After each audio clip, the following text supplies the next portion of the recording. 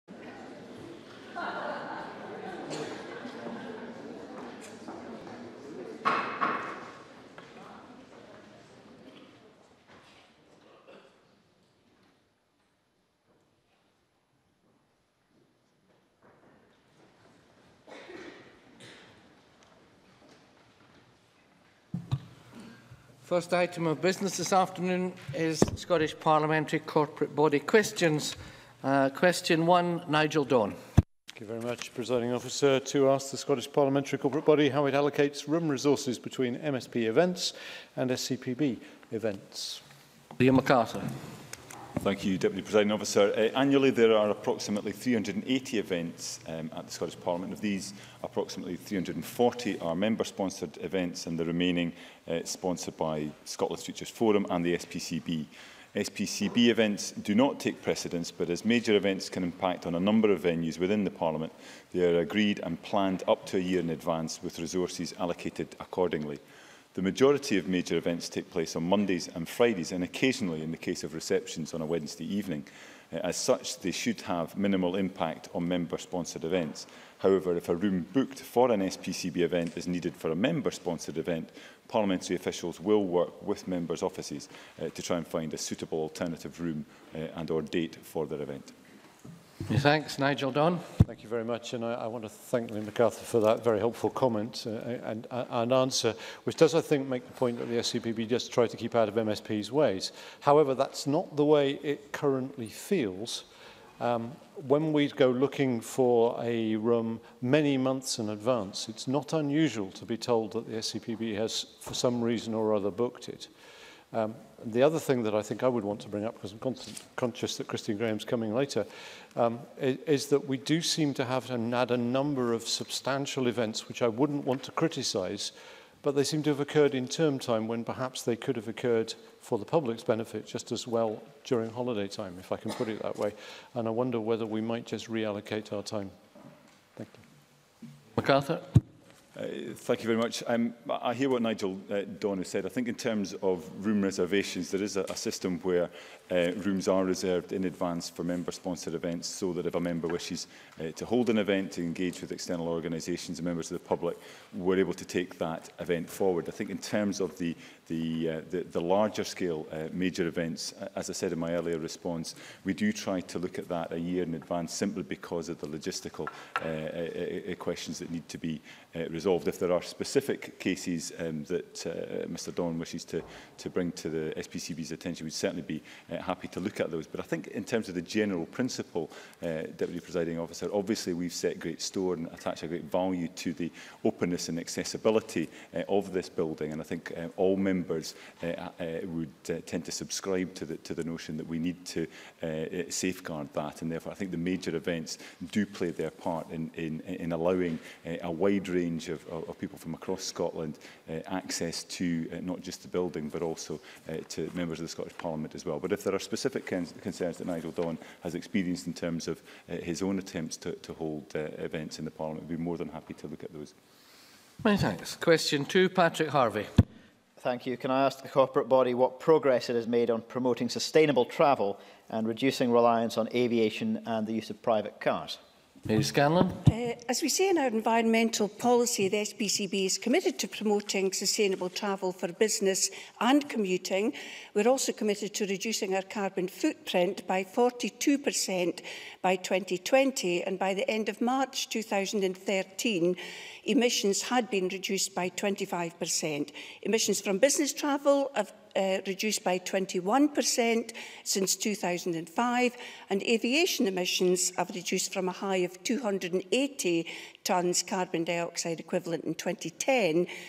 to 131 tonnes last financial year.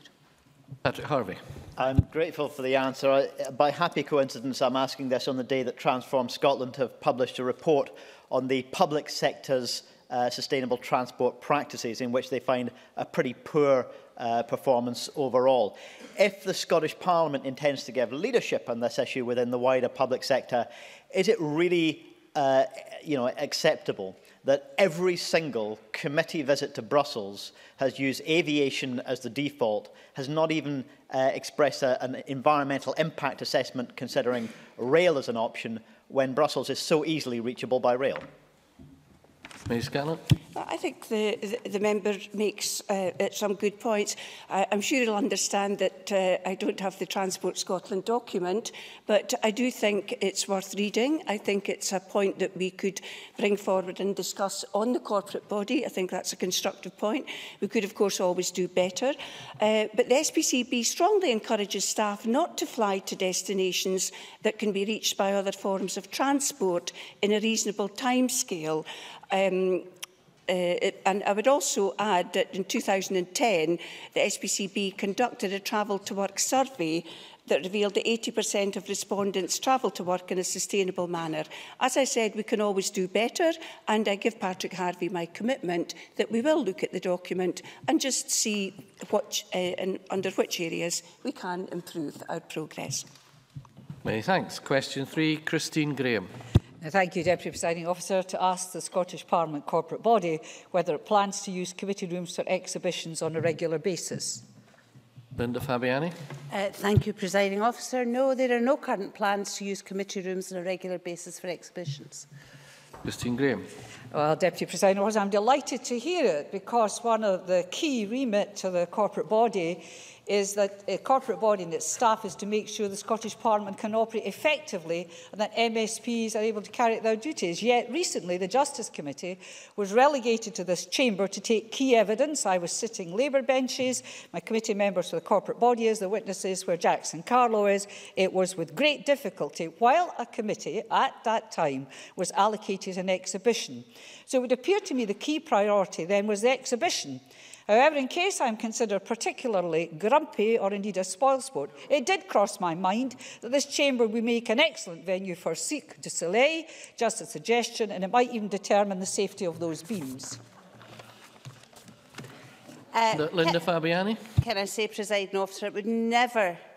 cross my mind to describe Christine Graham as particularly grumpy.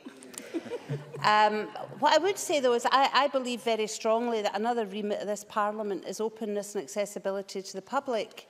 And I, I think the exhibition that's been talked about was the, the Andy Warhol Pop, Power and Politics exhibition. Um, that was announced in April this year. There are many reasons um, why it was held in Committee Room 1. And I think as the first Parliament in the world to host that exhibition, It's something we should be very, very proud of. And no committee meetings were cancelled uh, because of that exhibition. Um, but, you know, over 22,500 people visited it during the 30 days, and over 500 people participated in the screen printing workshops.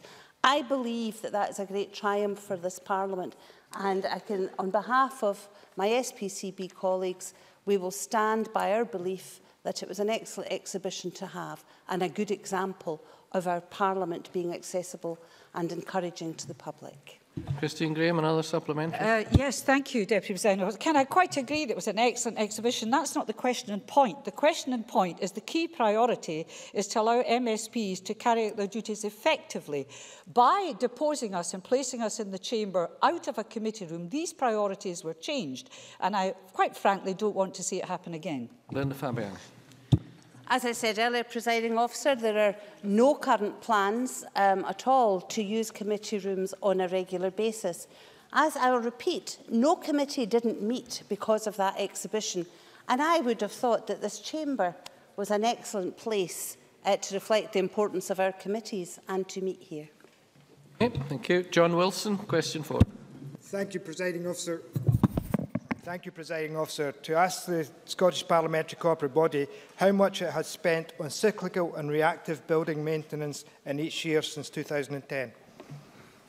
Mr. Fabiani.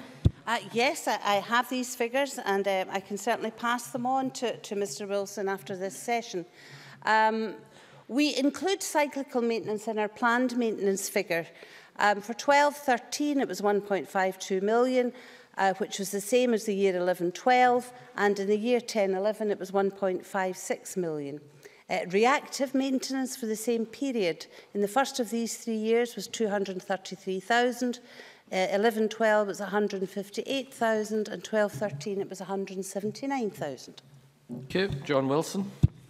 I thank the corporate body for that response. I'm almost tempted to ask when the koi cap are going to be installed in the garden, the water feature in the garden lobby roof, uh, as we know that there's a great deal of water lying in that uh, surface water lying on the roof at the present moment.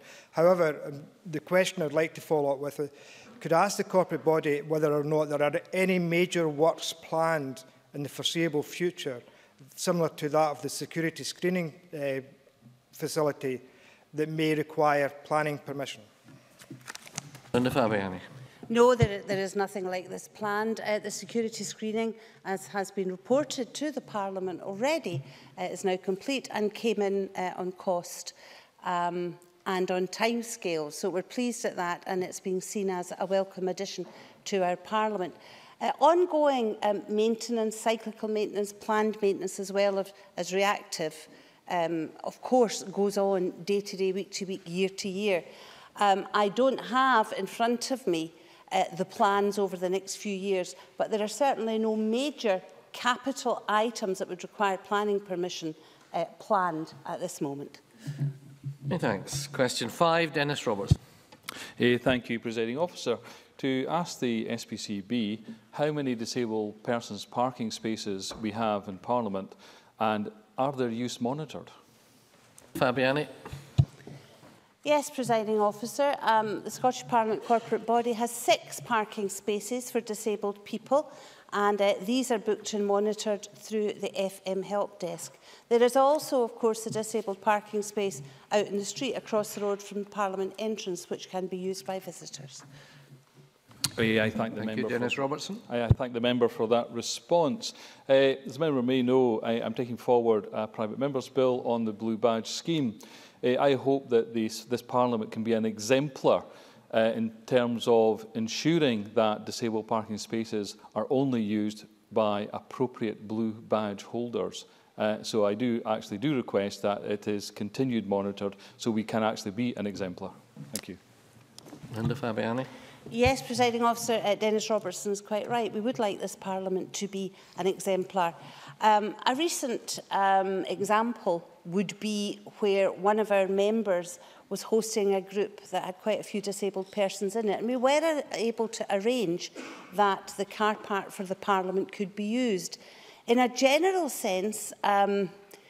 if disabled persons parking bays, the six down in the, the car park, are not booked by noon, Um, they are sometimes released for general booking for the following day.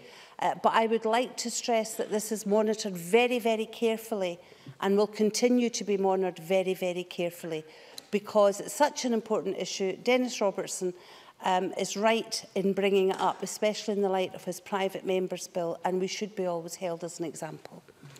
Many thanks. And that concludes questions to the corporate body. And we'll now move on to the next item of business, which is a debate on motion number 8422 in the name of Rosanna Cunningham on the independent expert review of opioid replacement therapies in Scotland. I'd invite members who wish to speak in this debate to please press the request to speak buttons now or as soon as possible to locate their microphones effectively, remembering that these are directional microphones And, Minister, when you are ready, I'd call on you to speak in this debate and move the motion in your name at that time. And you have 14 minutes as soon as you are ready to proceed. Uh, thank you, thank you Presiding Officer. Um, it would be useful, I think, to remind the Chamber of the background to this afternoon's debate. In August last year, National Statistics reported that in 2011, drug-related deaths reached the highest level recorded. 584 people in Scotland lost their lives to drugs, and for the first time ever, methadone was implicated in more deaths than heroin. These deaths affected and continue to affect friends, families and communities. And that is why I asked the Chief Medical Officer, Sir Harry Burns, to commission an independent expert group on opioid replacement therapies. The expert group published their report, Delivering Recovery Opioid Replacement Therapies in Scotland, in August.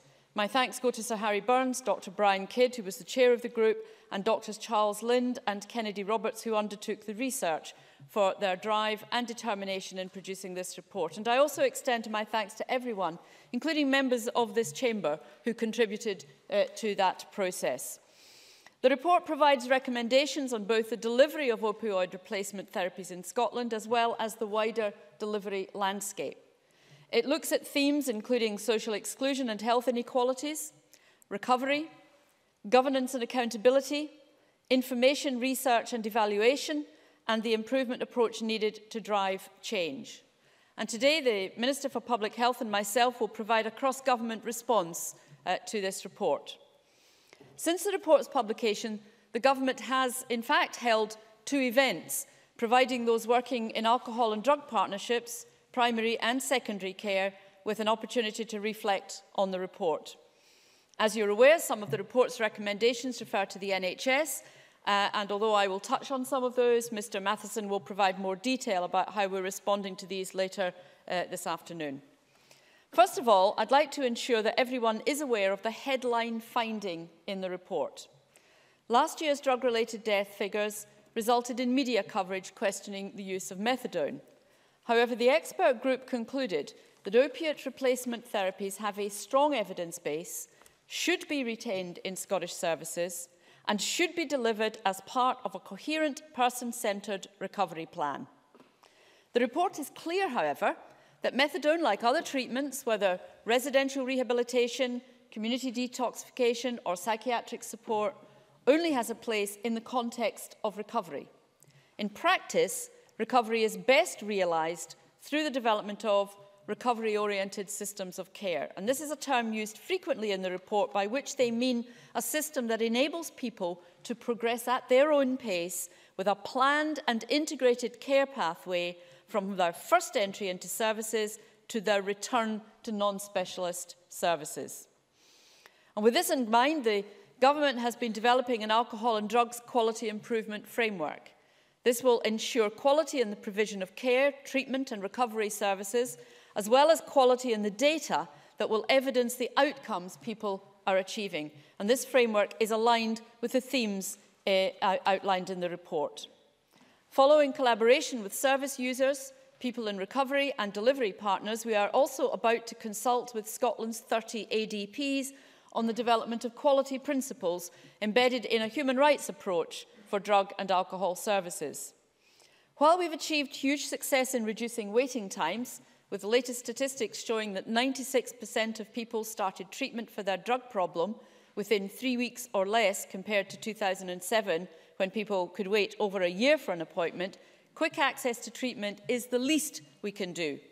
The quality principles I am referring to will set out what someone accessing a service can expect to achieve and will be measurable at service, local and national level. They include high-quality evidence-based interventions, uh, workers who are appropriately trained and supervised, full strengths-based assessments and person-centred recovery plans that are agreed and regularly reviewed, and if helpful to the individual, the opportunity for their family to be involved. We know that some areas are doing this already, and examples of good practice were highlighted in the report. But delivering quality also depends on the availability of robust information that is capable of demonstrating recovery outcomes. Access to meaningful and reliable information is essential if ADPs and local services are to monitor their progress in delivering recovery. We're currently working with NHS Information Services Division Scotland and ADPs to scope out the development of an integrated drug and alcohol information system. The proposed system will integrate the existing waiting times database and drug misuse database as well as gathering information on alcohol treatment and recovery indicators.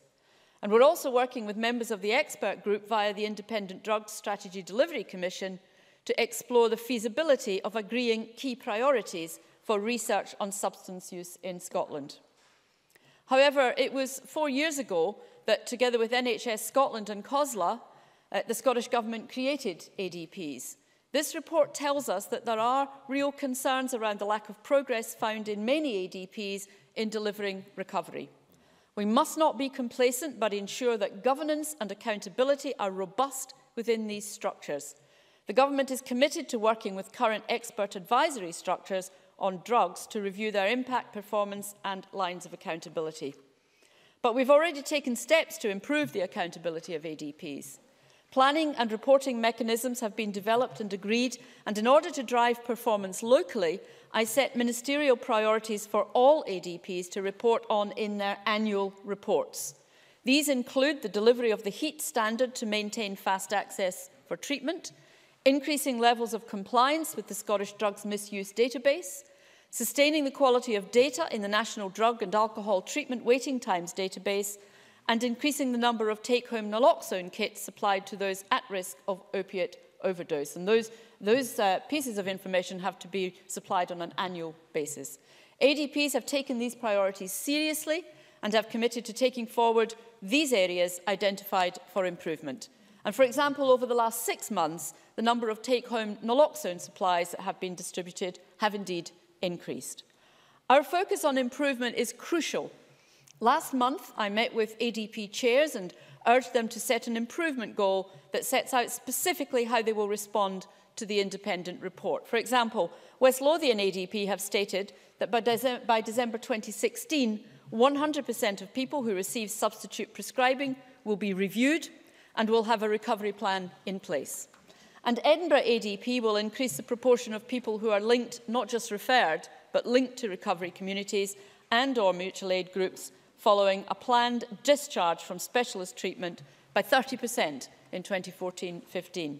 Now, these examples do demonstrate that a real change is taking place, a result of this government's alcohol and drug quality improvement programme and the expert group report on which we have already begun to act. However, it is important to remember that people affected by drugs are extremely vulnerable and are often experiencing other significant health conditions, including the effects of ageing. The evidence also tells us that stigma is a significant barrier to delivering recovery.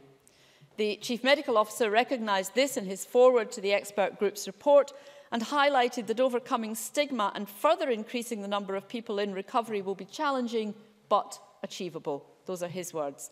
In line with government priorities, the report emphasises the importance of workforce development, not only in upskilling, but in addressing stigma and attitudes towards drug use and recovery. And by that I mean even within some of the wider workforces dealing with people who are uh, using drugs.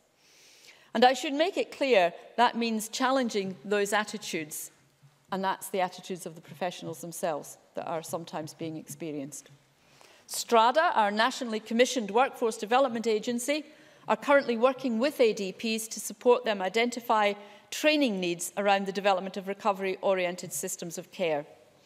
In addition, the Scottish Recovery Consortium delivers recovery workshops for treatment providers, giving opportunities for workers to connect with people's own experiences of recovery, as well as learning about recovery tools and practices that are used elsewhere in Scotland. And by taking this work across the country, I'm delighted that the Recovery Consortium will be working with all addiction staff in NHS, Ayrshire and Arran in the coming months.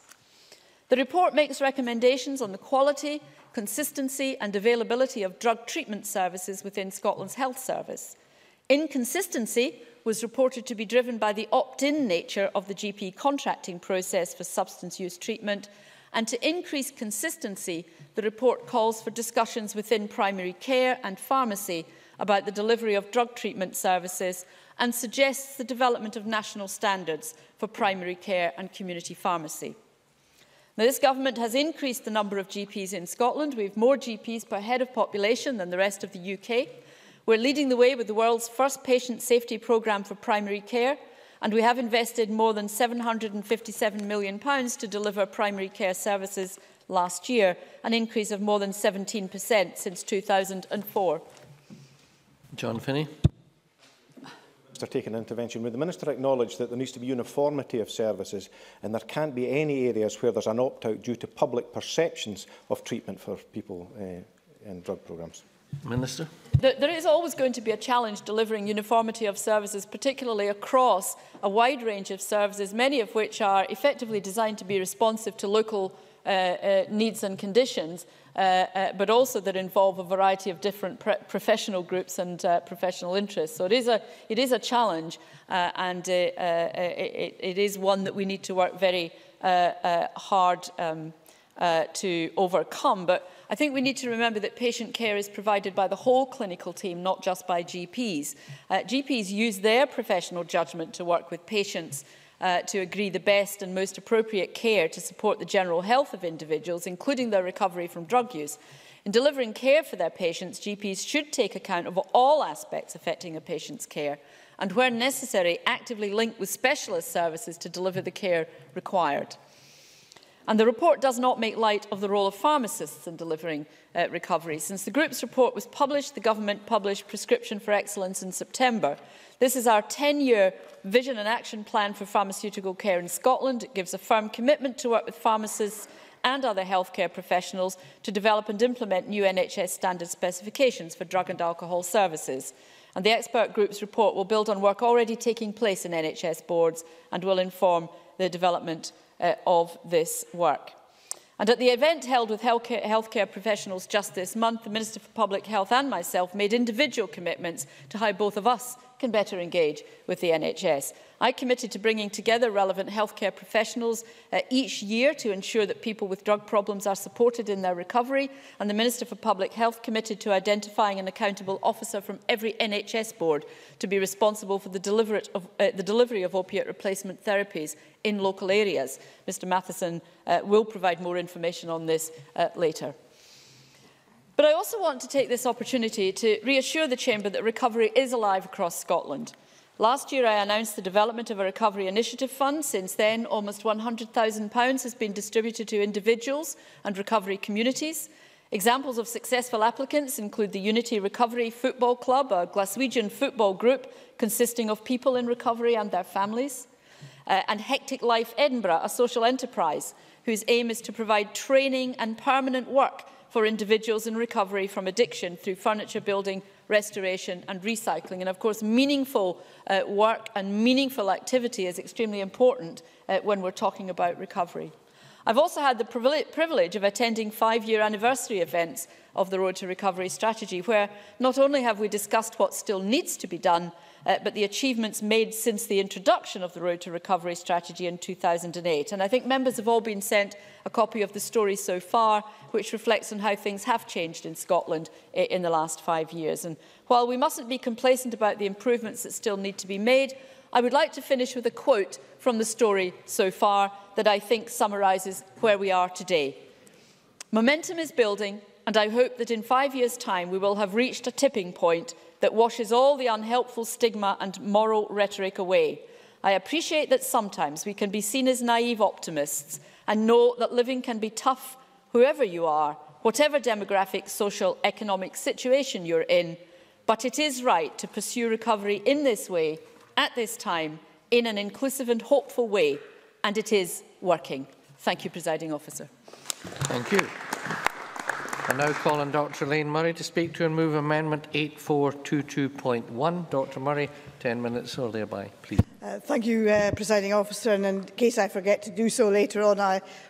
will start by moving the amendment in my name. And I welcome the opportunity to debate the findings of the independent report into OPOA uh, replacement therapies. Though it feels as if it's been a long time in coming, it was announced in October last year, and at that time the recommendations were supposed to be produced by spring. But nevertheless, I am pleased that we are at last discussing the important and often contentious issues of the treatment of people suffering from heroin addiction. Labour members welcome the acknowledgement in the government motion of the concerns contained in the report, which raises many important issues about how services are currently delivered across Scotland. Now, I'm not arguing that all these issues fall at the feet of government, but the report does place the responsibility on government to provide leadership in using 11 of the recommendations to form the basis of what it terms, and I quote, an immediate improvement programme. We feel that more urgency is required than is actually displayed in the government's motion today. Importantly, the report identifies that opioid replacement therapy is an essential service with a strong evidence base, and I repeat what the Minister has said earlier. This has been verified through research in a number of countries across the world. Amongst the report's recommendations are a more coordinated approach from all service providers to tackle the effects of health inequality and stigma, that ORT should be offered in the context of a flexible and mixed treatment state, uh, system, that therapy should be part of a person-centred recovery programme with a care pathway and the progress of individuals able to be objectively determined. There was a clear and significant concern about the performance of alcohol and drug partnerships across the country and a need for their functions to be reviewed, as some displayed little evidence of a real impetus towards recovery and a lack of progress towards recovery-oriented systems of care or ROCs and quality insurance. The report notes that there is an urgent need to address what it calls the lack of institutional memory in planning, delivery and governance. And I imagine that is some form of management speak for a failure to learn from past mistakes or instances of good practice. There's also a lack of accountability, including lines of accountability to the Scottish Government, and the need for an approach which has a track record of delivery of change. Indeed, there's a lack of outcome measurement at the moment, with even the very modest SMR 25B follow-up forms not completed in the majority of clients. Research and academic inquiry was also noted to have been poorly developed in Scotland. Our amendment focuses on the need to make real progress on the issues identified in the report and to demonstrate commitment to that by determining a, a timetable for action on the improvements identified as being required. The report notes that the average age of a heroin user is increasing. Heroin does not seem to be the drug of choice of younger people. It's not seen as cool now. That is good, but it also may be due to the easy availability of so-called legal highs, which of course may bring many dangers, such as extreme psychosis, and these also need to be the subject of scrutiny and perhaps a, a separate debate. But the increasing age of heroin users brings with it problems, as the prolonged use leads to more complex and severe physical and mental health problems. Nor should we assume that the unpopularity of heroin with younger people at the current time indicates that it will eventually fall out of use. I'm advised that drug popularity is cyclical and a future generation may not eschew heroin to the extent that young people today do. Now, heroin users do not engender much in the way of public sympathy from the general public. The UK Drugs Policy Commission noted high levels of blame and intolerance amongst the Scottish population and even that, quote, the fear of and need to exclude people with drug, drug problems were higher in Scotland than in the rest of the UK, a finding which the report describes as sobering. Attitudes towards medication-assisted recovery were also more negative in Scotland. And Scotland also has higher rates of harm and premature death than other EU countries. And these rates have not fallen away in the way that they have in other countries. So we do have a challenge here in Scotland. But in addiction to stigma, the debate around drug treatments is often ill-informed with a lack of information regarding treatments available and what is actually meant by recovery. The lack of a shared definition of recovery is noted in the report. And while there is a definition in the Road to Recovery which recognises that recovery is about voluntarily moving on from problem drug use, and there's the UKDPC consensus statement on recovery, these definitions do not seem to be universally accepted or understood, with the perception that, that recovery equates to having achieved abstinence. Now, of course, that is the goal for many, many heroin users and their families, and as indeed it should be. Where it is possible for a user to become drug-free, that should be the aim, and efforts and support should be directed towards that aim. But for some, it will not be totally possible to cease uh, opioid treatment uh, uh, replacement treatment because some people are actually too ill ever to be able to come off the medication. And before people criticise that and say, why is the NHS paying for that? We do pay for consequences of obesity, the consequences of smoking, the consequences of choices that people make. And this is the same uh, issue, I believe. Now, the standard opioid replacement is methadone. Surely. Eady. Thank you, Dr Murray, for taking intervention. Would you agree with me, though, that um, the attitude, and you were right to highlight the issue of stigma, that people make a lifestyle choice when they choose to misuse drugs, actually neglects to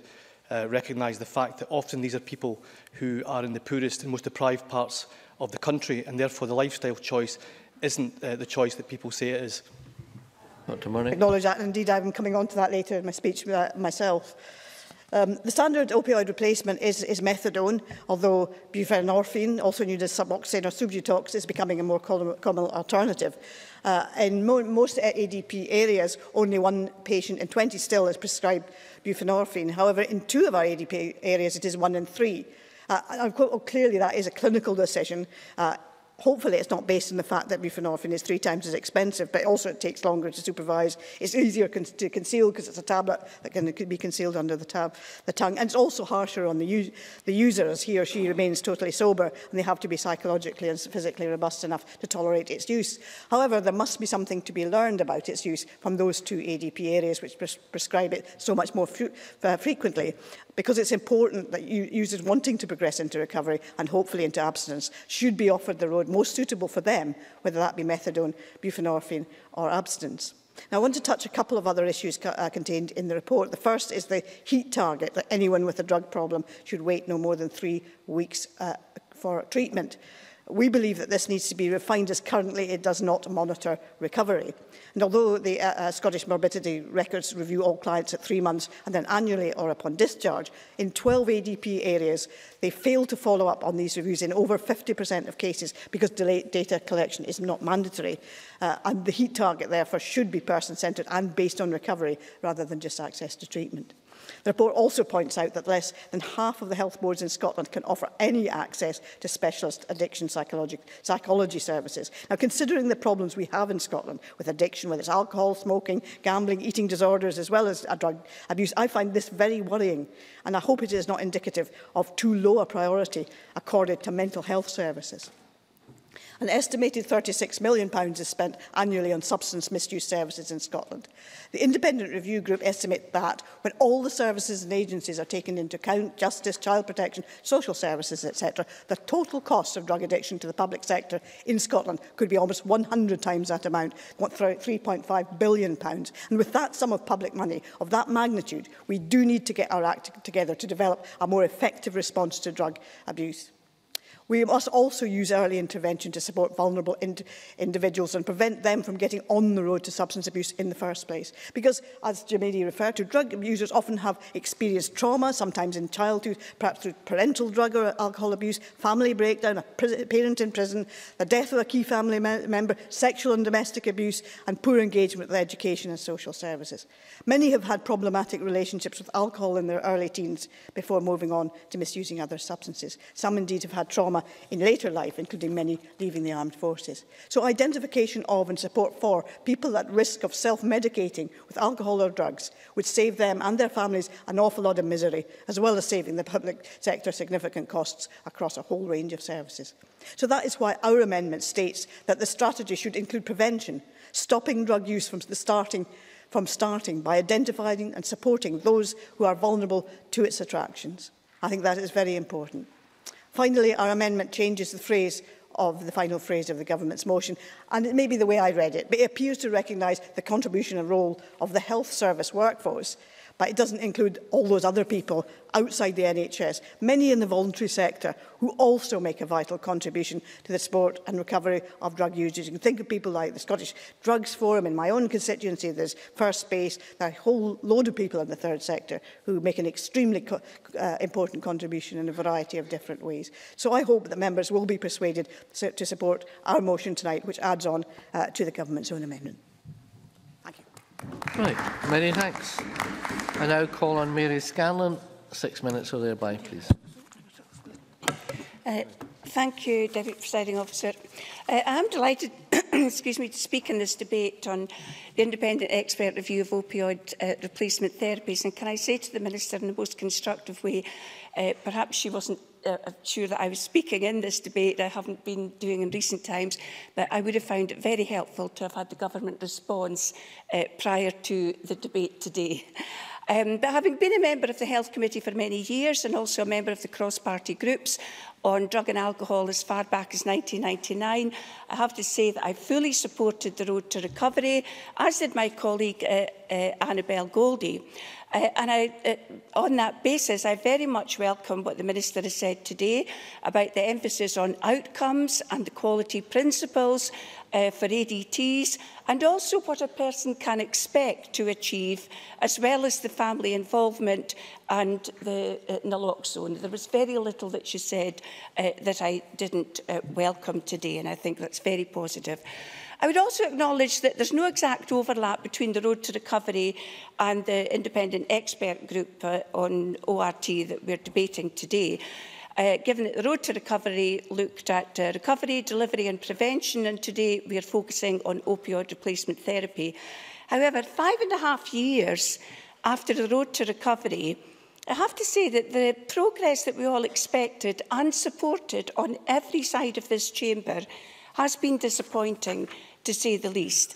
Uh, and what's even more disappointing is that many of the themes and recommendations we are debating today were made in 2008. Uh, and so I, although I welcome the, what's been said today, I think that what I would like to ask for is more regular updates on the progress uh, of the action taken. More information on the response to treatment would allow treatment services to be benchmarked. It would support transparency of the effectiveness of interventions being supplied to patients. For example, does everyone on the methadone script get a monthly test to determine the presence of illegal drugs? Not sure. Government statistics for the quarter to June this year stated that 96% of people attended an appointment for drug treatment within three weeks. Now, I welcome that, but it's not within, it's what happens after the three weeks. And I, I, I welcome what the Minister said today. But that is the target we have just now. So I commend the focus given today on the outcomes and not just the three weeks uh, for turning up to, uh, to the first appointment.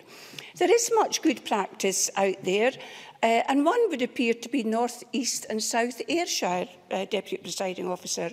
Uh, their Alcohol and Drug Partnership piloted a methadone cessation programme aimed at supporting long-term methadone users over a period of six months. And given the information we have, this is an example of a programme that undoubtedly has seen some notable success. But in looking back uh, to some of the questions I've submitted on this issue, I found one from the Health Minister Ian Gray in 2001, which states that, and I quote, drug users often claim that methadone is harder to come off than heroin. I'm not sure that's always understood. And I say that uh, because I think that we need to listen to those who are addicted to drugs. We need to listen to those who are in recovery, those who are having difficulties addressing their drug usage and I welcome the inclusion of families.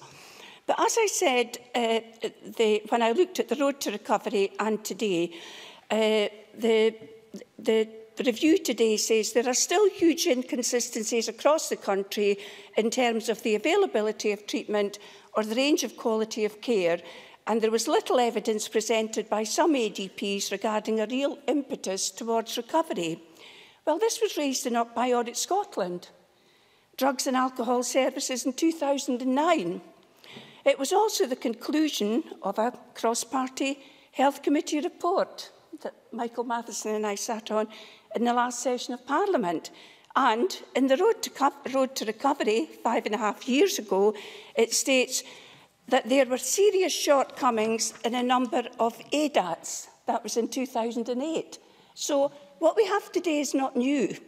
I welcome the commitment and the focus, but I don't want to wait another five and a half years and see the same problems coming forward again. Again, uh, one of the themes, health inequalities. The Road to Recovery stated an appropriate range of drug treatment and rehab services to promote recovery and better integration of medical treatment with mental health. That's what we've heard today. We knew that was a problem five and a half years ago. Another theme Today, lack of institutional memory and an agreed understanding of the key issues and plans, and without this, systems are destined to continue repeating mistakes. Road to recovery, agreed understanding and collaboration is a central theme. And then uh, theme five today, urgent need to develop meaningful information system. That was also in the road to recovery. And again, in the Road to Recovery, I could find 10 actions to support the setting up of a new National Drug Strategy website to bring together all the policy and research uh, uh, in place for uh, academics, pr practitioners, key experts, service users and the public.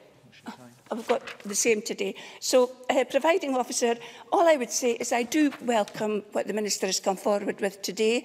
I welcome the focus on outcomes, but I would also ask if she would work with us because she has the support across this chamber to provide regular updates on progress.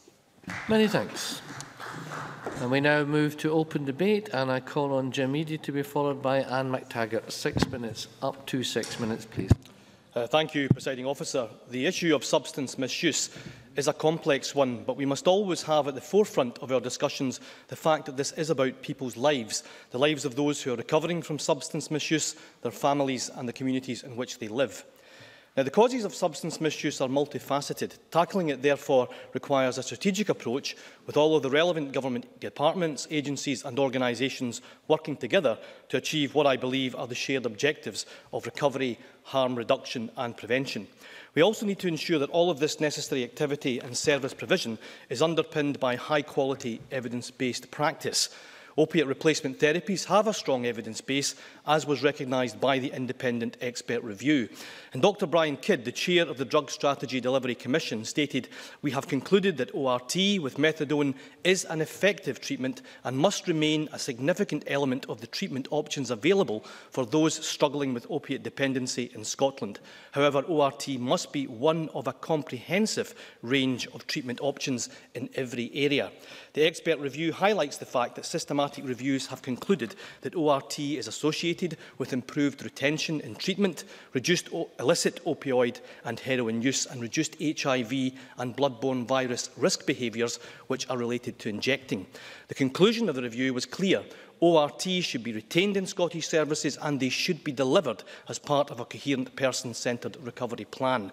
Another requirement in tackling these issues is the need for national leadership, and here I do pay tribute to the work of the Minister for Community Safety and Legal Affairs and the Minister for Public Health for the constructive and inclusive way in which they have taken matters forward. Of course, the context for today's debate, as Mary Scanlon reminded us, is the National Drug Strategy, The Road to Recovery. That strategy was published in 2008 by the Scottish Government, but it has been endorsed by the Parliament and it commands widespread support across all of the relevant agencies and organisations organisations delivering services as being the right approach for addressing Scotland's legacy of drug misuse.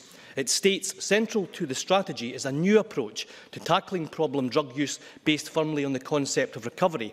Recovery is a process through which an individual is enabled to move on from their problem drug use towards a drug-free life and become an active and contributing member of society. The key phrase is towards a drug-free life. There has to be an acceptance and an understanding that someone who has a history of drug misuse will, in many cases, if not the majority of cases, simply not be able to become drug-free overnight, even if being drug-free is the ultimate objective. Presiding officer, the dichotomy with which we are sometimes presented between abstinence on the one hand and harm reduction on the other is a false one. And this was a point made effectively by the United, yes, by the United Nations Office on Drugs and Crime in its report in 2009. Mary Scanlon. I thank the member for giving way. Would the member also acknowledge that uh, quite often the, the, the problem is that there is an underlying mental health problem and what is required is a dual diagnosis and the psychological support, not only the detox and rehab. I absolutely agree with the point uh, made by the member, and I'm come on uh, to, to discuss uh, mental health in a moment. One of the barriers to accessing services and achieving recovery is the stigma which exists towards uh, current and former drug users and their families. And this was a point highlighted by uh, the expert review, and again this afternoon by the Minister and by Dr Murray. It also goes on to make the sobering observation that such stigma is endemic at all levels in society, Let's pause for a moment to consider what that means. It means that some of the most vulnerable people are not accessing services and it means that they may be more at risk from premature death. Sobering indeed. Now, there has been a transformation in attitudes towards people with mental health problems in our society. Wouldn't it be uh, equally um, satisfying if we were to see similar changes in public attitudes towards people who are recovering from drug misuse? If stigma is endemic within our society, then it would be naive to believe that negative attitudes do not exist on the part of some professionals involved in providing addiction services. I was told by someone with significant experience within this field of the views of one service user who told him, I go to services as an addict and I get punished as an addict. Therefore, there is a clear challenge to the NHS and other agencies to ensure that there is appropriate training and continuing professional development for all staff who work within services designed to assist people on their recovery journey. The evidence tells us that recovery is most effective when service users' needs and aspirations are placed at the centre of their care and treatment. The role of community pharmacy featured prominently in the review and was endorsed as making an absolutely vital contribution to the provision of high-quality care for substance misuse patients, and a number of recommendations in the review I think will help uh, to improve uh, the provision of services in this area. I'd also like to pay tribute in the final minute to the work of the Scottish Drugs Forum, The work that they undertake to harness the talents, experience and skills of service users themselves to improve the quality of services, promote employability and support individual recovery. There are a number of challenges in this report if we are to bring about improvements in the provision of services covering a range of areas.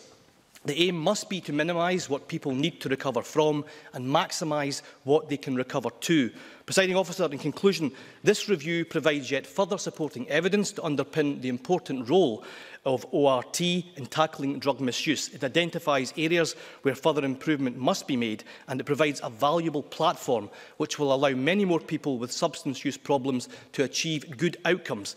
That is something which all of us in this chamber should unite to support. Many thanks.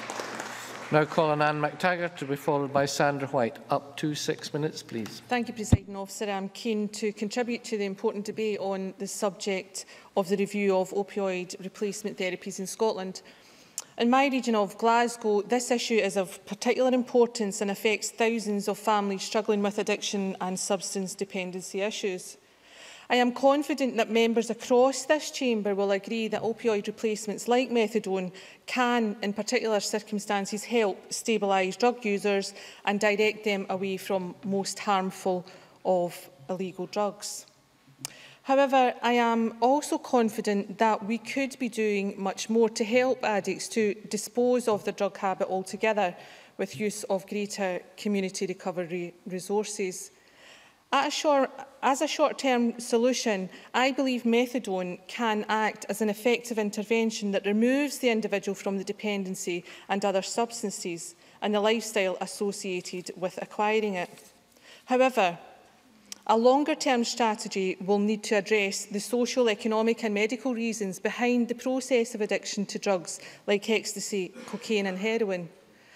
The most effective strategy will not be medical, but will reflect on the reasons why people become addicted, as well as providing individuals with a route out of their addiction altogether. Quite fundamentally, presiding officer, this will mean effectively tackling problems like poverty, unemployment, homelessness and crime. The harsh reality is that there is no one solution that will comprehensively eradicate the harm caused by drug addiction, and serious investment is required in a number of areas to impact more greatly on the lives of those most affected. I welcome the findings of this review into opioid replacement therapies, which will attempt to prioritise recovery from addiction and will aim to work more consistently with grassroots agencies right across the country. What I will still like to see from the Scottish Government is a timetable that will outline the action being taken to provide clear and effective routes from addiction to recovery. It is not just drug users that depend on the support of key agencies and services, but their families and their wider community, all of whom are affected by the criminal behaviour that facilitates the traffic of drugs into Scotland. Working within the field of addiction for the last 20 years in various roles and projects, and lastly as a former social work professional in Glasgow City Council, I know that the, one of the, the, the drug treatment and testing orders can play uh, an important role in helping deal with drug-related crime, which is also highlighted within the report. However, my experience has taught me that we need to use them better as part of a joined-up system that supports addicts to overcome their addiction.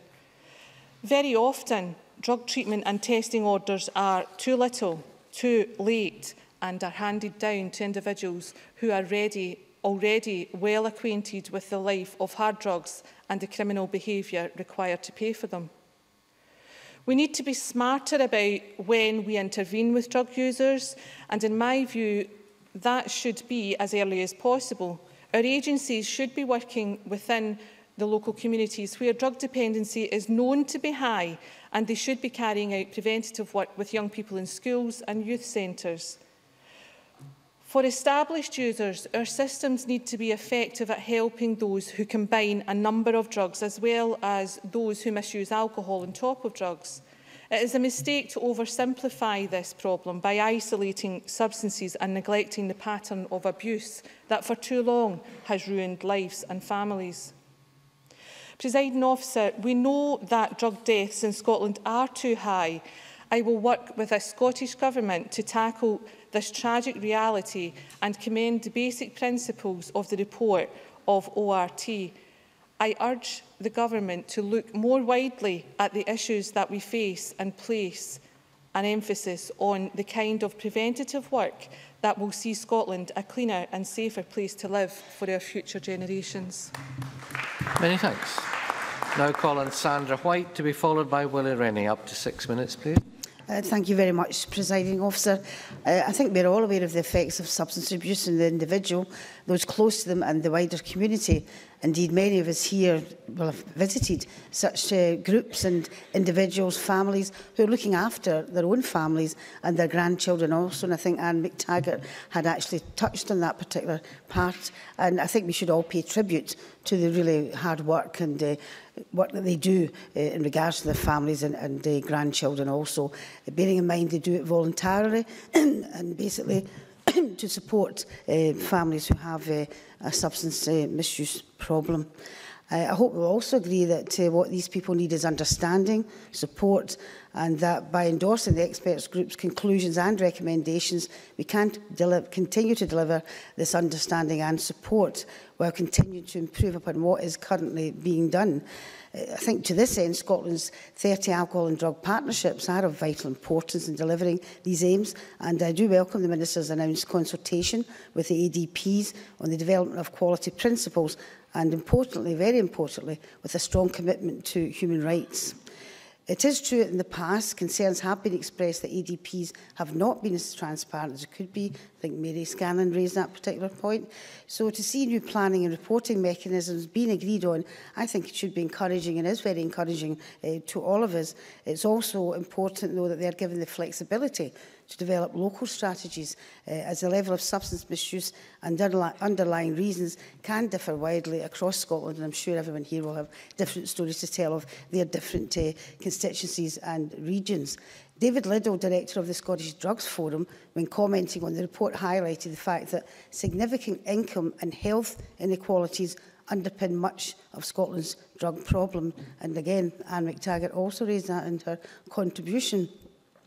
Now, in Glasgow, the prevalence of drug misuse is still considerably higher than the national average, and I believe that this is part due to the inequalities which still exist in that great city and the constituency that I represent. And although tackling this issue may fall out with the remit of this report, it is important to remember that it is an underlying reason. And I do welcome the comments by the Minister regarding health inequalities and the involvement of the Public Health Minister. Uh, and I would encourage joint working, if at all possible, with other Scottish Government departments to tackle inequality at all levels. Now, the Minister also spoke of the Recovery Initiative Fund and the Unity Recovery Football Club which is a great example of local initiatives which supports recovery but also eh, offers other healthy avenues to give people new interests and a new focus. The fact that it also fosters a sense of community amongst those participating is, in my mind, eh, a very, very important aspect of these projects. Uh, there are also many other numbers of projects in Glasgow that have a very much holistic approach to treatment rather than perhaps more mainstream methods just like us, based in Milton in Glasgow, is another great example offering a structured 10-week spiritual-based skills program which focuses on empowering the individuals to take control of their own lives in a very meaningful way and reduce their reliance on prescribed medication. Now, there are plenty more examples of this type of approach, not just in Glasgow, but throughout the country. And I think that they are important to our overall perception and treatment of misuse And perhaps an approach that the Minister would look at, including in the government's future approach to its drug strategy. Another important aspect of support and prevention must be to help people coming out of prison to ensure that they do not simply fall back into substance misuse. And unfortunately, in the past, the transition from prison life back into society has seen a number of people go back to past habits, reoffend and be sent back to prison. And as a member of the Justice Committee, I know only too well from the experience of prisoners and evidence we've heard that unfortunately is a part of the revolving door. And it is a very much a vicious cycle which must be ended if we're to avoid further drug misuse. Now, the Scottish Government's public social partnerships has been used in Low Prison to tackle this issue, to offer support to those leaving prisons to get the necessary support after they leave. And I would like to give you a small example of this. Uh, one user of the partnership, and I do quote uh, his words, there are so many wee things you need to sort out, housing benefits, medicine, and all those wee things that make it feel like it's an uphill struggle from the start. And after leaving prison, he went to his doctor, had been deregistered and was told he wouldn't get his subby, in his words, his prescription, as he didn't have a fact from the prison. Faced with this, it would have been very easy for him to slip back into the substance misuse. But in his case, the PSP spoke to the doctor and the prison and got things sorted out. Now, it's not an isolated incident, but with the support of the PSP, he was much easier and less to uh, offend again. Now, PSPs have been shown to work And I wonder if the Minister would consider rolling this model out across Scotland. Uh, I welcome the independent expert review of opioid replacement therapies in Scotland and that its heart it promotes a person-centred recovery. The review also highlights the de desire to further develop information, research and evaluation systems at a national level and I would encourage the Minister to include in this research the use of holistic approaches to drugs misuse and the use of public social partnerships in achieving the aims of the government's drug strategy. Thank you very much, President Officer. Thank you. Now Colin Willie Rennie to be followed by Christian Allard. Um, it's quite remarkable the change in the debate on this subject compared with last year. And I think it's a really welcome change that we've actually got back to, I think, more of a bit of a consensus about drug misuse. Um, this was probably all sparked off to David Clegg's great delight by the Daily Record, um, who targeted what they called the methadone millionaires. Now, I met Mr. Houlihan, who was the so-called methadone millionaire. And he's a pharmacist who's built up his business and he works in some of the hardest communities in the west of Scotland. But that is a man, a pharmacist, who I think is, I've never seen more engaged in the interests of the people that he serves. He wants to change their lives, and I was really quite inspired by his commitment to his community. So I didn't recognize him as a methadone millionaire. I think there was a mix up in terms of the profit versus the, the turnover um, on that. But he wasn't somebody who was characterized in the Daily Record as somebody who did not care about the people that he served. It also, this report was inspired by the concern that methadone was triggering a number of deaths um, from drugs.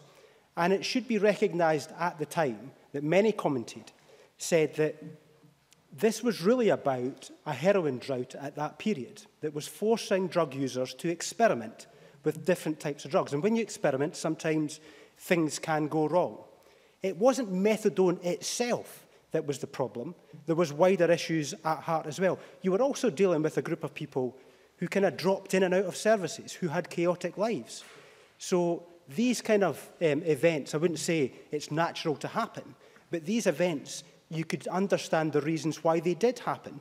And that's why a superficial look at the figures was not helpful at the time. And I'm glad we've got to the bottom of this and why um, the, the number of deaths were increasing at that time. Because I'm clear that methadone is part of the solution, it's not part of the problem. If you look, compare Russia with the United Kingdom and with Scotland. Russia, which does not have a similar programme in terms of needle exchange and methadone, the bloodborne virus problems in that country are far, far, far greater than we have in this uh, country. So we should recognise the differences that we have made over that time. And I'm glad, therefore, that the KID report did endorse this point of view that methadone was part of the, the solution and not part of the problem. Now, I was recently at the Phoenix Futures graduation ceremony in Glasgow. I was a wee bit daunted, I have to say, by going into the, to the Woodside Halls eh, in Glasgow.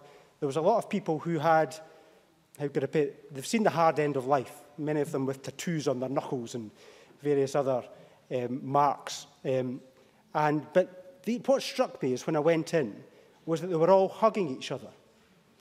Um, now, these were hard people. These were people who have seen difficult bits of, of uh, their community but they were hugging each other. And this, I thought, was a mark of the success of Phoenix Futures, that they have created recovery communities. They're people who look after the emotional side of each other's needs. It's a, it was a tremendous recommendation. They, they were delighted to have graduated um, out of uh, drug misuse. Um, and I think that's the kind of project that we should celebrate.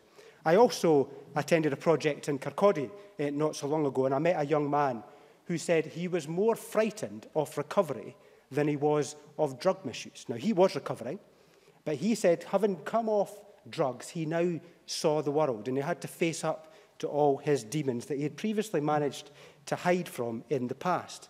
So he said it was actually getting more difficult now being in recovery. So you can understand why people dip in and out of recovery over time.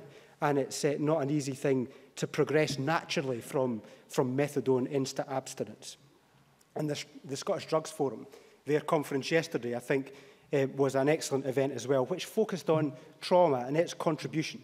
And I think Jim Eady's right about you know, poverty and deprivation are major contributory factors to this, but also traumatic events in people's life, no matter which background they come from, sometimes wealthy backgrounds as well as poor backgrounds. But they were focusing on the effect of trauma, not just one-off events, but longer-term events as well. Um, there is considerable amount of debate. And I think Elaine Murray was right. There still, probably still is a bit of a debate about what actually recovery, what recovery is. I think there is generally an understanding recovery is improvement, and, and it's different for everybody.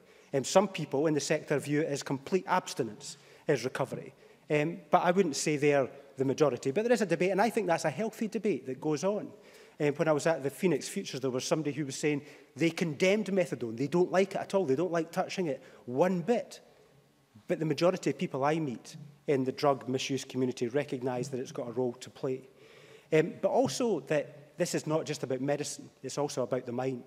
It's also about the wider factors in life. The degree of compulsion that should be involved as well. How much do we compel drug users to go forwards to treatment?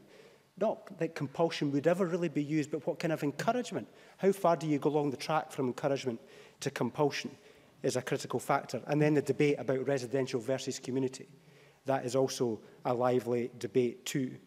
Um, the NHS, I think, um, probably needs the biggest shake-up in this, trying to get the NHS in a wider sense to engage properly. This is an issue that affects a whole range of services, from housing through to health, through to justice, and justice primarily takes the lead, but the NHS needs to take a lead as well. And that's why it's important, I think, that the medical director um, should be the lead person um, in a second, the lead person in terms of opioid uh, replacement. But we also need a person in the NHS to take a much more comprehensive lead on those issues too. I'll take an intervention from Dennis Robertson. Dennis Robertson, briefly. Uh, thank you, Presiding Officer. Thank the member.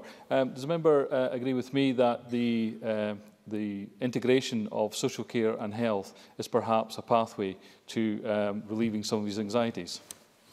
Uh, you should be drawing to a eh, close, please, yeah, Mr Rennie. Yes, perhaps. We, we shouldn't necessarily just look for structural changes to actually change minds, because we need to get leading people within the NHS to fully embrace drug misuse and not just leave it to somebody else. Because the, the issues are actually beyond just the simple issue of recovery because we need to sort out issues of housing, on work, on family. And one thing that I've increasingly noticed is the issue written about boredom. People are just bored. And when finally, they're, when they're drug misusers. So I will come to my conclusion, uh, President. I Excellent. think there is finally just a bit of good news is that number of newer drug users, younger drug users, is dropping.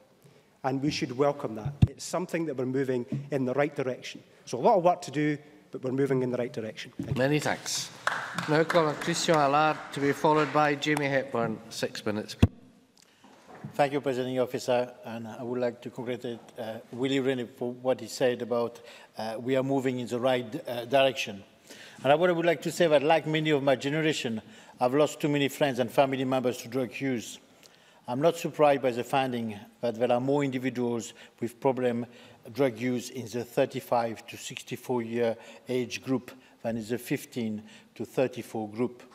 My generation failed to recognize the danger of drug use. The same generation today is failing to recover from it. More to the point, many of my generation today are still considering drug use as a recreational habit.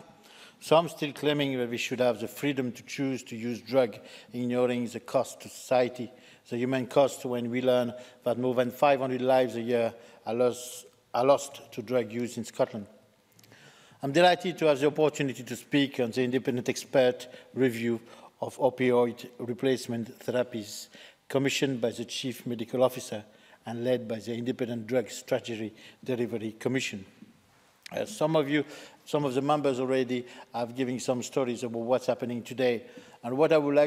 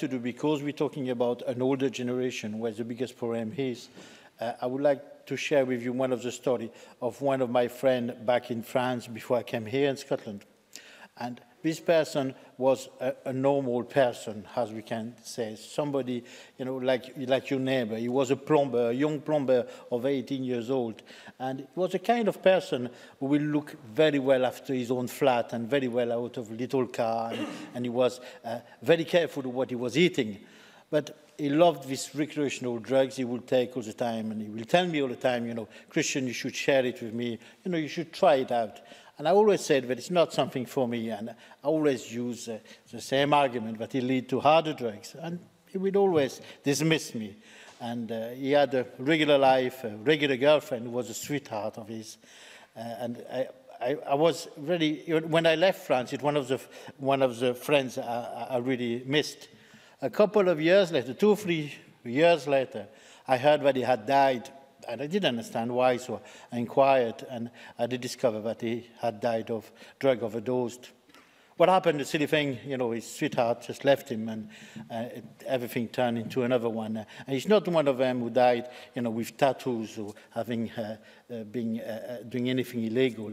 Uh, he just uh, died of overdose. This story demonstrates uh, that everyone could be led to believe that using drugs is a personal choice and addic addiction is extremely difficult to recover from. But this story us as well that in them days you didn't have uh,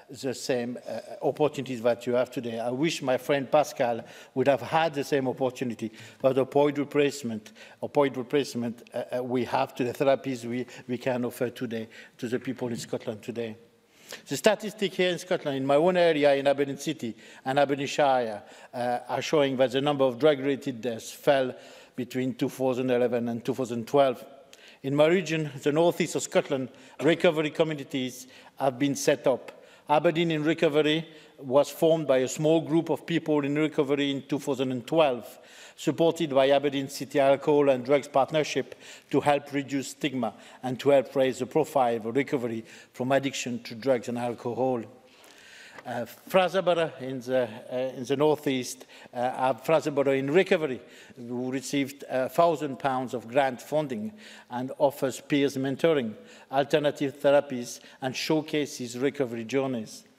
The road to recovery is the only way to approach to tackle the problem of drug use. And yet, I am delighted that the expert group recognized that it can only be delivered as part of a coherent person-centered recovery plan.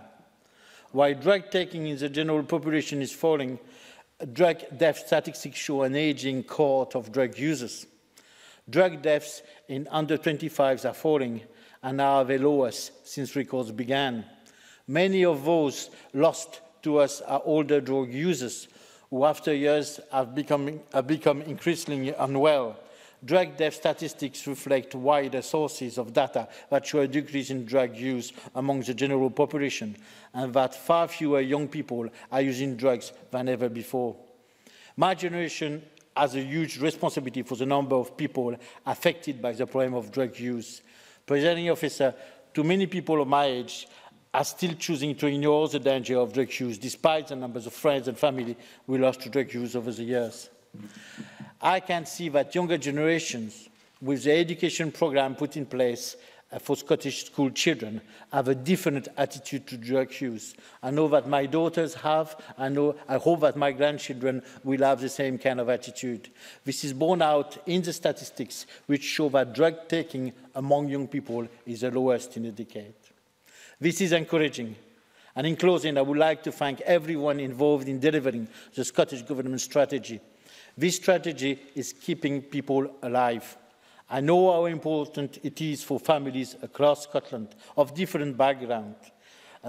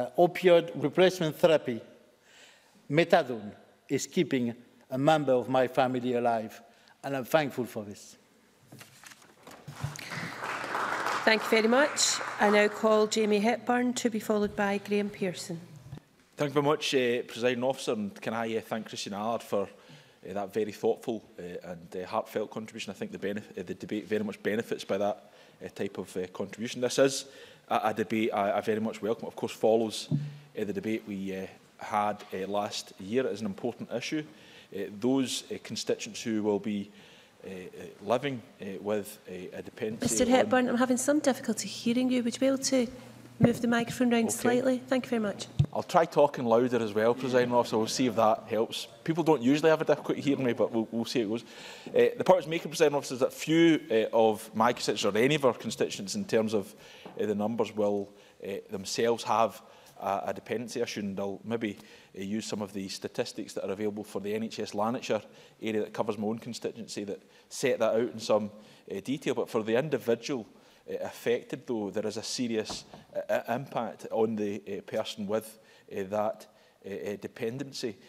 people who are often suffering from complex, multiple problems, a point made by uh, Elaine Murray, uh, very vulnerable uh, people.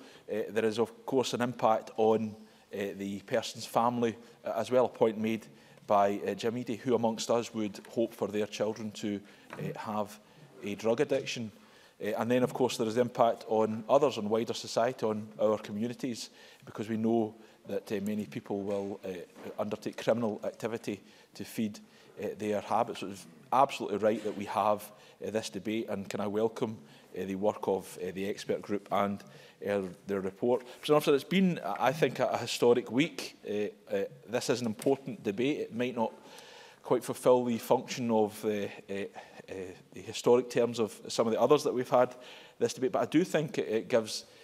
a lie to the suggestion that has been uh, posited by some in this chamber that uh, Scotland uh, is on pause because I think this debate is a vivid uh, demonstration of uh, the Scottish Government uh, taking action uh, to get on with the business of, of government working to improve uh, support and treatment uh, of those with uh, an addiction. And I think they, they have, the government has a, a good uh, record in that uh, regard. Of course, they established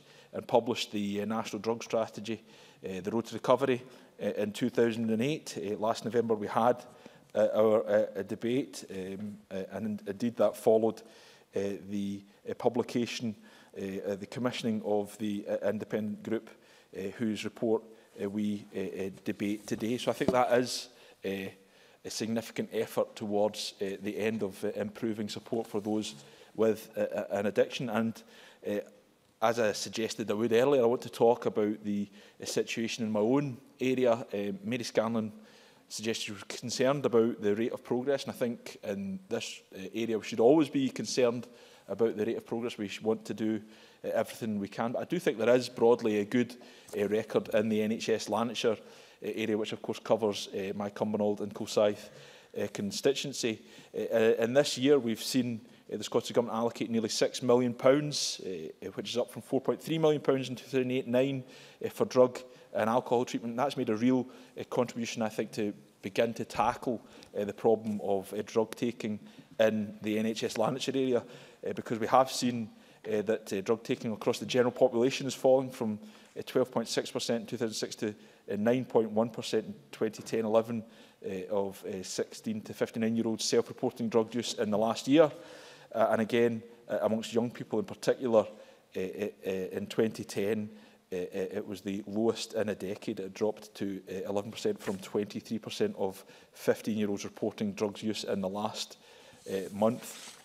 And in terms of uh, treatment, uh, we see uh, in the Lanarkshire area uh, some 98.8% of people are treated within three weeks, as opposed to for drugs and alcohol uh, addiction, uh, as opposed to the Scottish-wide uh, uh, figure of 96%, and uh, no one is waiting more than six weeks for treatment in the NHS Lanarkshire area. Now, le unless it is, uh, I'm accused of uh, painting an entirely uh, rosy picture, let me uh, recognise that in uh, the Lanarkshire area uh, in the last four years there uh, has been a, an increase in the number of drug-related uh, deaths. So I'm not saying everything is perfect. There is obviously uh, still more to be done, but I think the overall picture is one of, of progress, and that is to be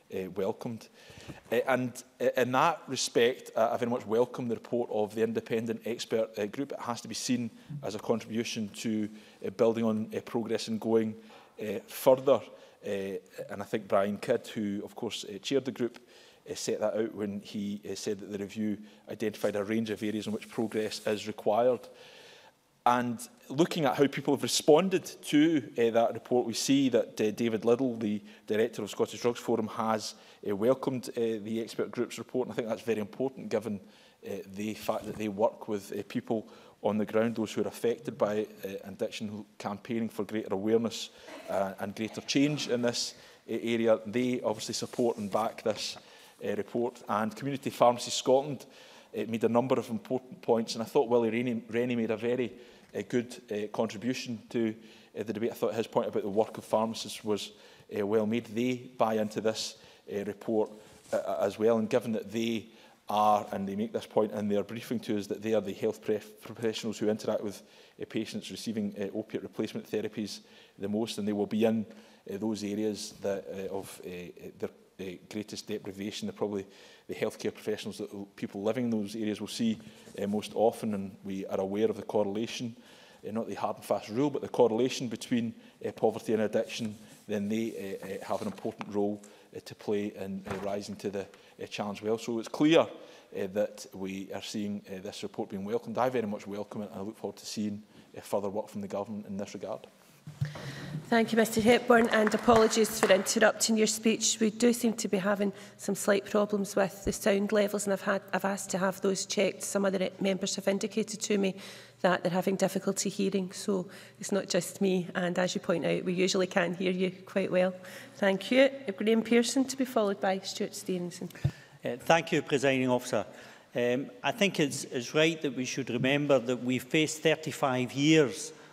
of challenge in relation to drugs misuse as it affects Scotland.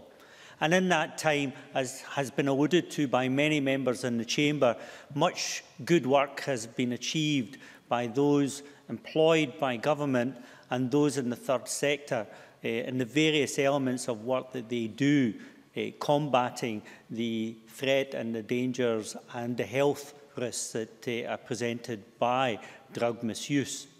Eh, in that light, I welcome Dr Brian Kidd's report and I welcome the work that's been done by the team who assisted Dr Kidd in its presentation.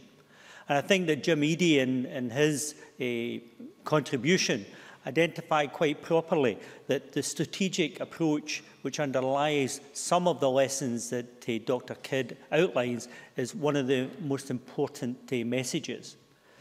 Wally Ray mentioned that uh, Rennie mentioned that, that uh, he had visited some of the groups, and like him, uh, I also have visited many of the groups.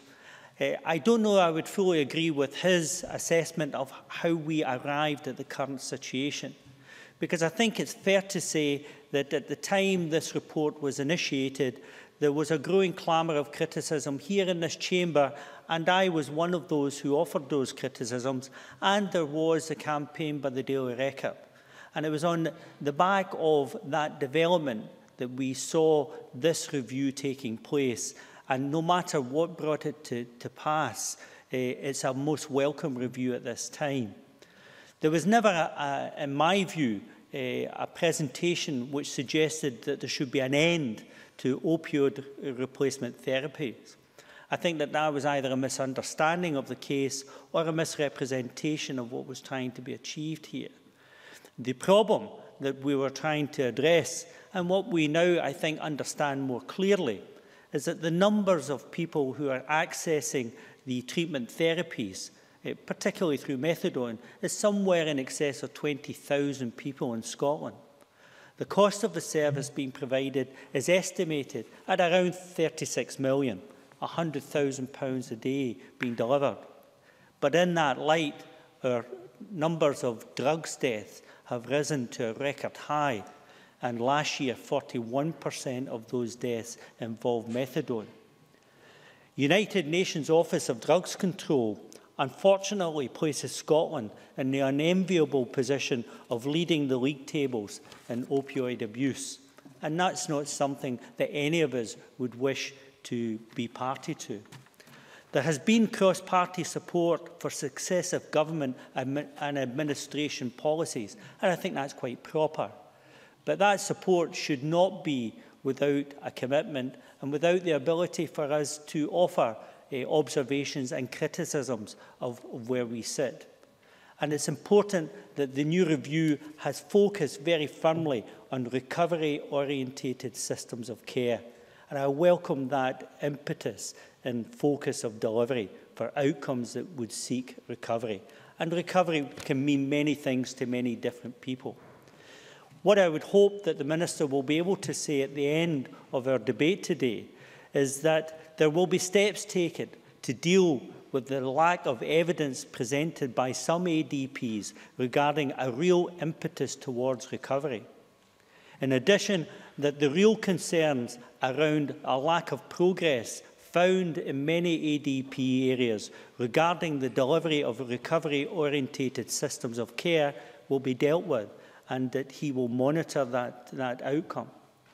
The third point made in the report, a lack of institutional memory, leading to repeated uh, mistakes and, and false trails and failing to capitalise on success and, as was alluded to earlier, the improving of local information systems to better identify people on ORT so that we can know what works.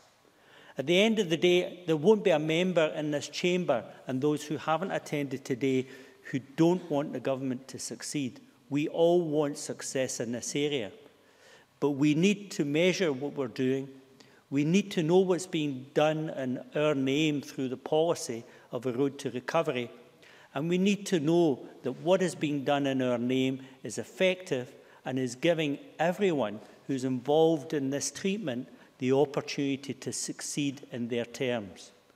It has been alluded to that some will not recover and that they will require to be maintained uh, through methadone or some other method.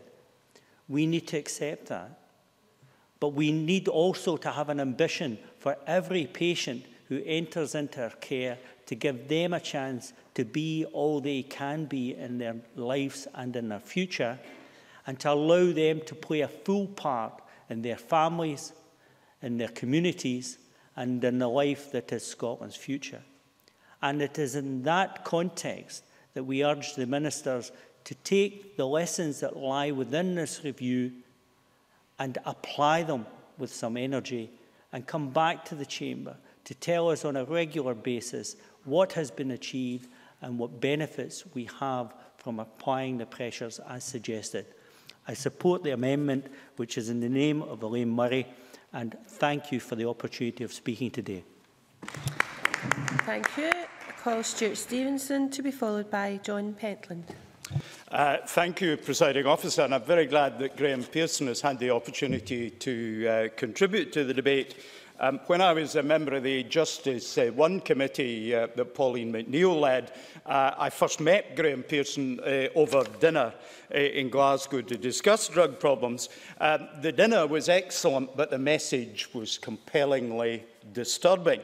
Uh, Graham, uh, I recall on that occasion, told us of a drug dealer in Glasgow who'd gone in with a handful of cash and bought a brand new Bentley out of a showroom.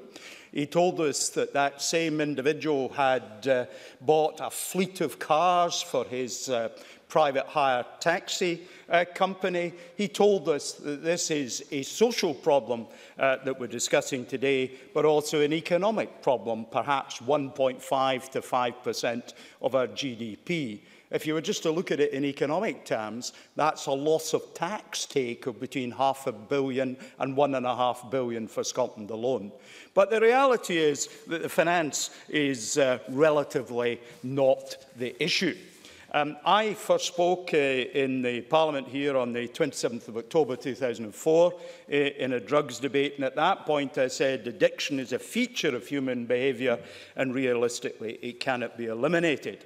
Uh, James VI, of course, in his uh, uh, counterblast to the evils of tobacco uh, 400 years ago uh, described smokers being by custom is peace and peace allured. The whole issue of addiction is very far from being a new one.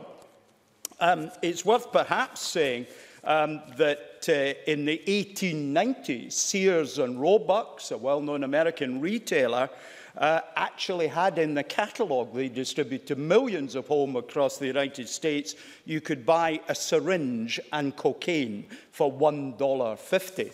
So attitudes have changed and the impact of addiction has changed.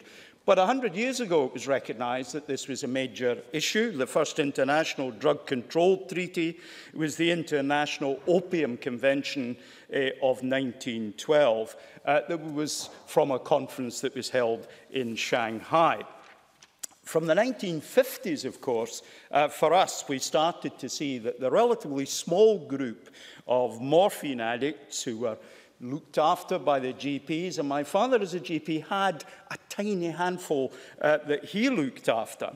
But even then, we could see the impact of criminality. There was in 1951 a single drug addict who broke into a dispensary in the outskirts of London.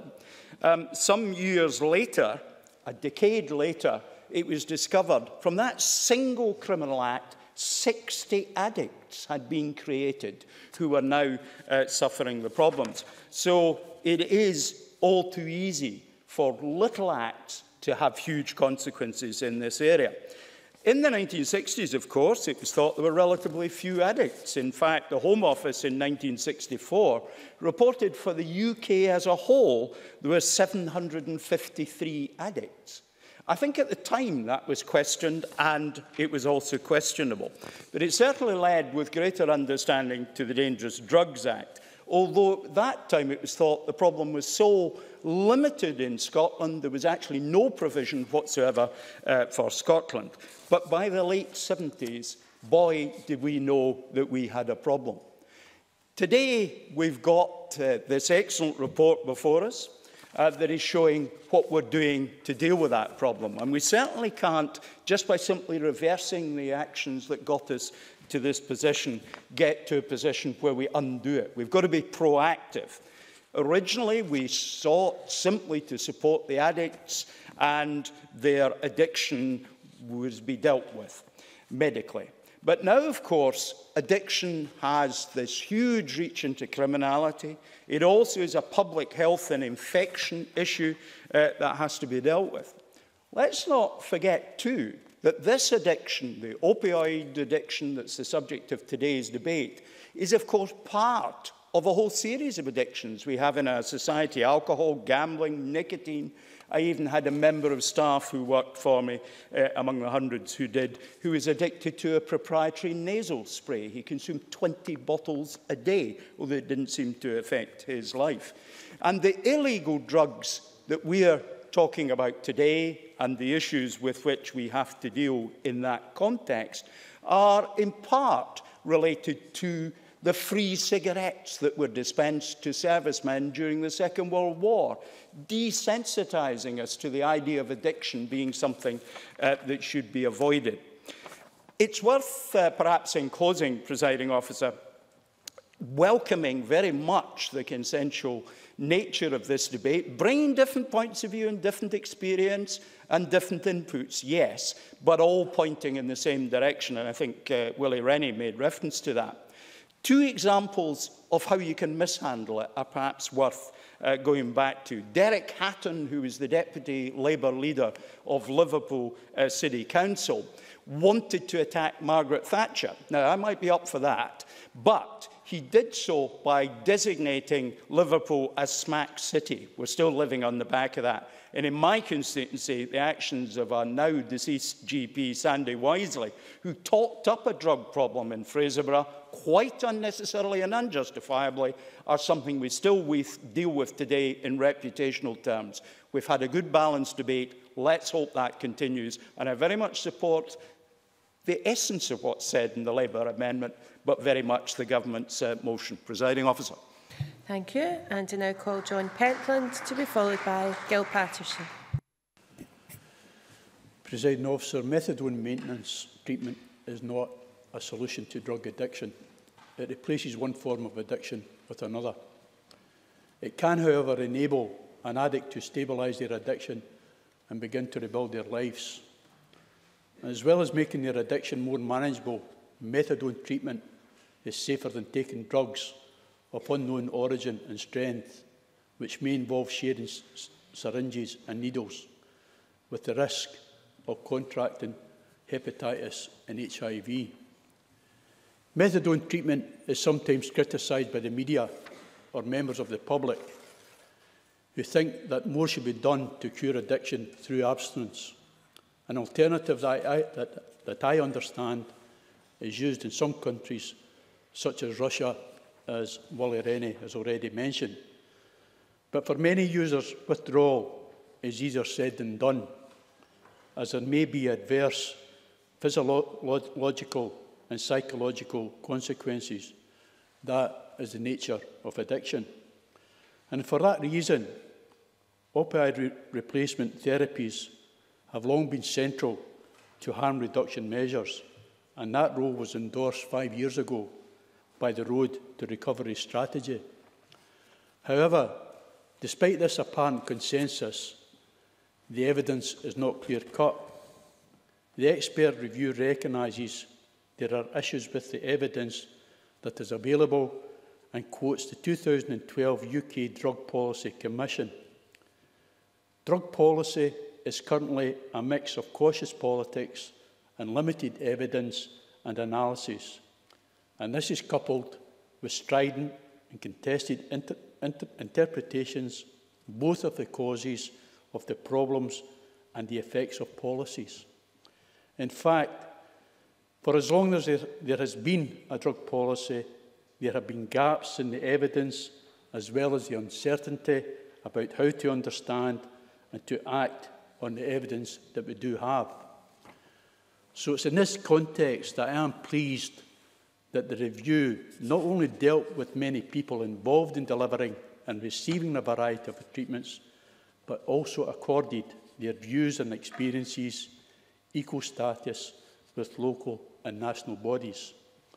Now, if we are to develop an effective person-centred approach to opioid addiction, it is essential that such evidence is a significant part of our consideration for the best way forward.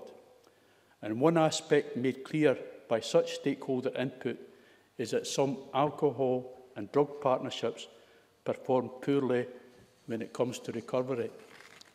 The report notes that there was little evidence presented by the ADP, ADPs regarding a real impetus towards recovery, and stakeholder reports supported this view. The review highlights the, that basic information was not often accessible. Clear strategic plans and objective reports of improvement were rare. Elements of recovery-orientated services were often absent. And the review criticises the organisational structure of the ADPs. There was not a strong sense of accountability and systems are destined to, be, to continue repeating mistakes or failing to capitalise on successes. These add up to quite a damning indictment.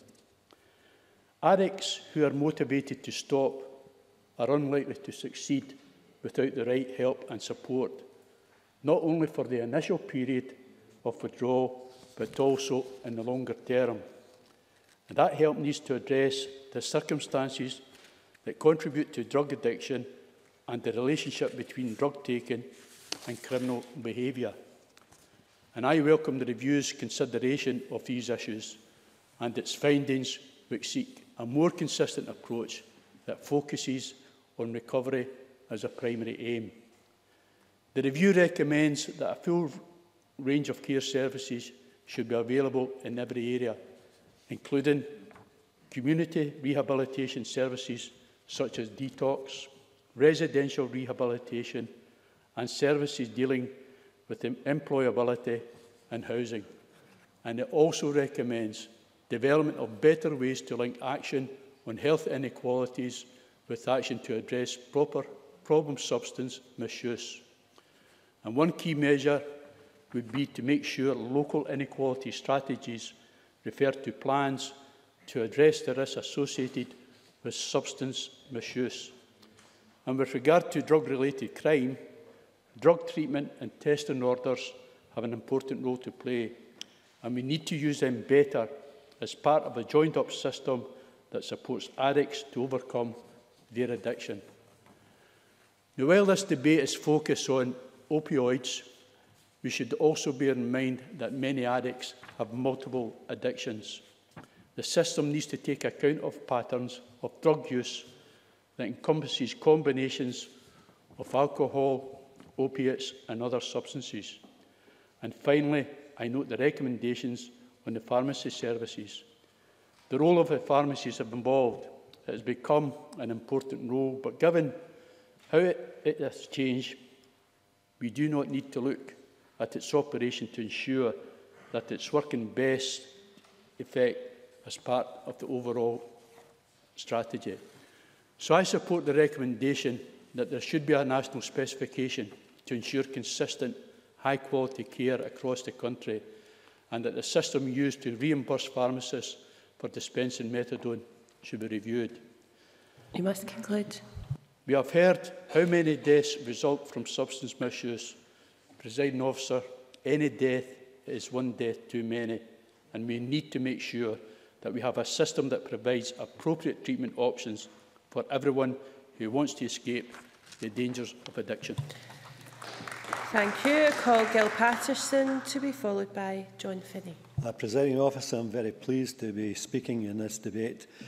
And al although this is primarily a, a justice debate, I would like to take a little of my time to raise the issues of health inequalities, uh, touching on what I have learned during my time in the Health and Sports Committee, and I'll come back to that uh, in a moment or two. Presiding officer, when debating the impact of drug use, uh, we must acknowledge the devastating impact it has on local communities, on families and on the individuals themselves. This is just as important when debating how best to treat those who have a history of drug abuse and who are trying to get clean. Due to their past problems, some have lost friends, became lepers in their own community and are shunned by family members. And yet, these groups of people are the very resource that is needed to ensure that those who seek treatment are given the encouragement to continue with the treatment and the support when challenges emerge, and they surely will. It is in these times that local agencies must come to the fore to offer their support. Without, these, uh, without there is a, a, danger of a person not completing uh, his or her treatment and falling back into drug misuse. Within my own constituency, there is an organisation that offers support to those who suffer from drug abuse called Alternatives. Since February 2000, they have been working in, Clyde, in the Claybank area to offer alternatives to drugs, a uh, drug use through a range of services to individuals and families currently or previously affected by drugs. This organisation carries out a great deal of work and is proactive in their attempts to bring people out of drug abuse. Their outreach programme is an umbrella, an umbrella term for a style of work literally meaning reaching uh, to where people are at. Alternatives do not wait for people to seek help once they see themselves as having a drug or health problem, but seeks them out with the aim of providing education and services directly in the community. Although this motion acknowledges that opiate replacement therapies have a strong evidence base, it is important to look at other avenues at which to treat those who suffer from drug misuse. The Alternatives Group is one such avenue and I would commend them on the hard work and its members and, volunteer and volunteers carry out in the local community. More importantly, the impact of their work on individuals and families should be encouraged by all. In a number of debates in this Parliament that has focused on health issues, which I've, I have contributed to, the main theme has been to move to a service of treatment and recovery that is person-centred. This debate is no different, and I'm pleased that the Scottish Government has accepted the expert group's conclusions and they, they are committed to delivering uh, the recommendations as part of a coherent person-centred recovery plan. All services may be local or national, but be focused on the individual's needs. And I support the calls for, a, for better information systems to identify people who are opioid replacement treatment for opioid replacement treatments and ensure that they are making progress with their recovery. There is a very little point of offering this treatment if it's not part of a plan with smart goals.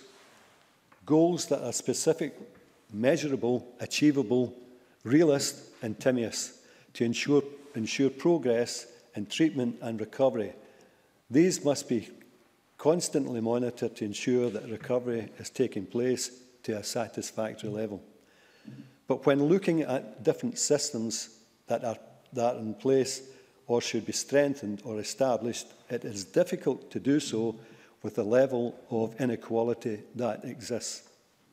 Some people argue that it is inequality in access to health that contributes to and is the main cause of drug abuse. I feel that this is missing the bigger picture. Health inequality, social inequality and inequality across the boards can be summed up in one word, poverty. It would come as no surprise to everyone that those who live in poorer areas are more likely to suffer from the effects of drug abuse, may it be personal or within their family. Regardless of how much money is thrown at health inequality, it can be a waste if we don't bring people out of poverty.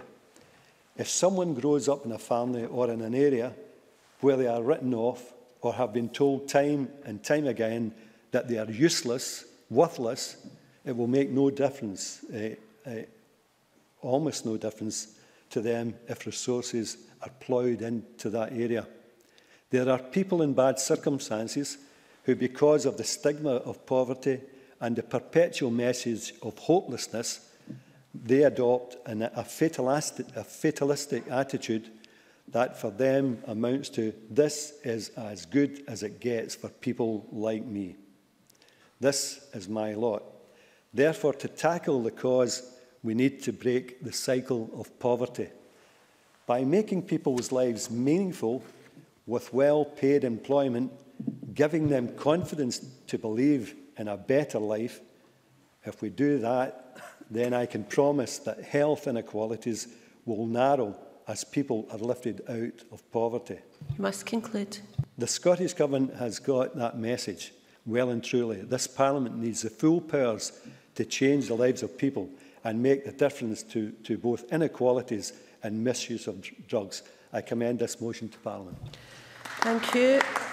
We're now running rather short of time. I um, must ask the next three speakers to keep to their six minutes, please. John Finney, to be followed by Dennis Roberts.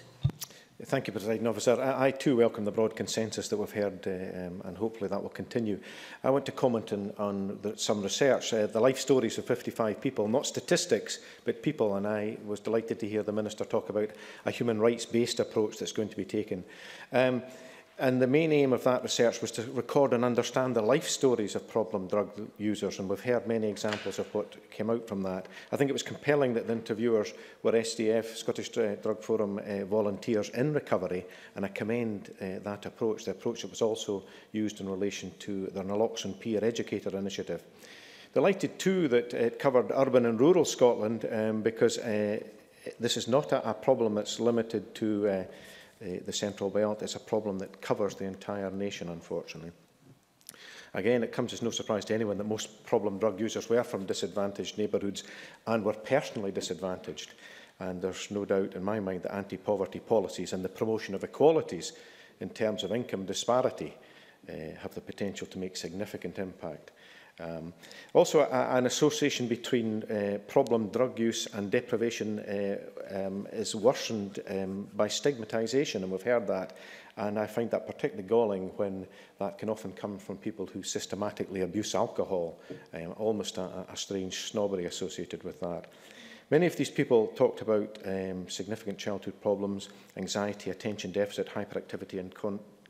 conduct disorders. And uh, hopefully that's something that the GERFIC approach will pick up on. Catch, I think Anne McTaggart's comments about uh, education are very important and I certainly commend the patient's journey approach which looks at the opportunity where interventions could have made a difference uh, taking that uh, approach. Um, Use, uh, we also heard in the, the research that using alcohol and drugs relatively heavily from a relatively young age was usually in the context of socialising and having fun.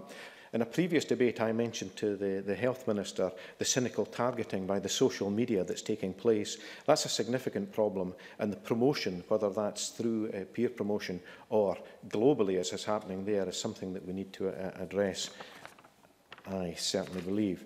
Um, we uh, also hear of the uh, multi-agency approach to everything, and that's, that's fine, but there clearly are challenges for local authorities, for housing associations, where the competing issues of providing housing and the disruption that sometimes can come um, with um, people with uh, drug addiction issues.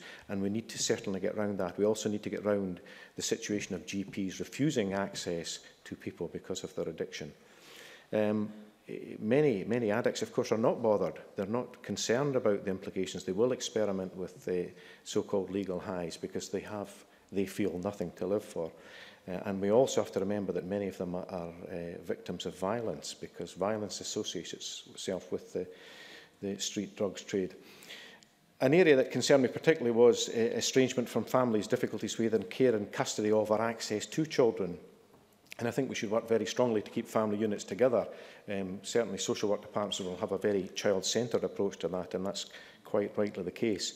I too support Methadone as an important part of the process. It was regarded as an essential aid on the road to recovery, offering the possibility of improvement, increased stability, and significantly for me, the reduced need for street drugs. Um, I thought it was interesting that in that research we also heard that there was difficulties getting and keeping methadone prescription. And I have to say, uh, my intervention to the Minister was ab about the patchwork of services, and I don't think we should have any no-go areas for provision of services, and I include Argyll in my own area, where ignorance has been prevailing thus far, but I think NHS Highland are going to ensure that the full range of services that should be available to all citizens will be available.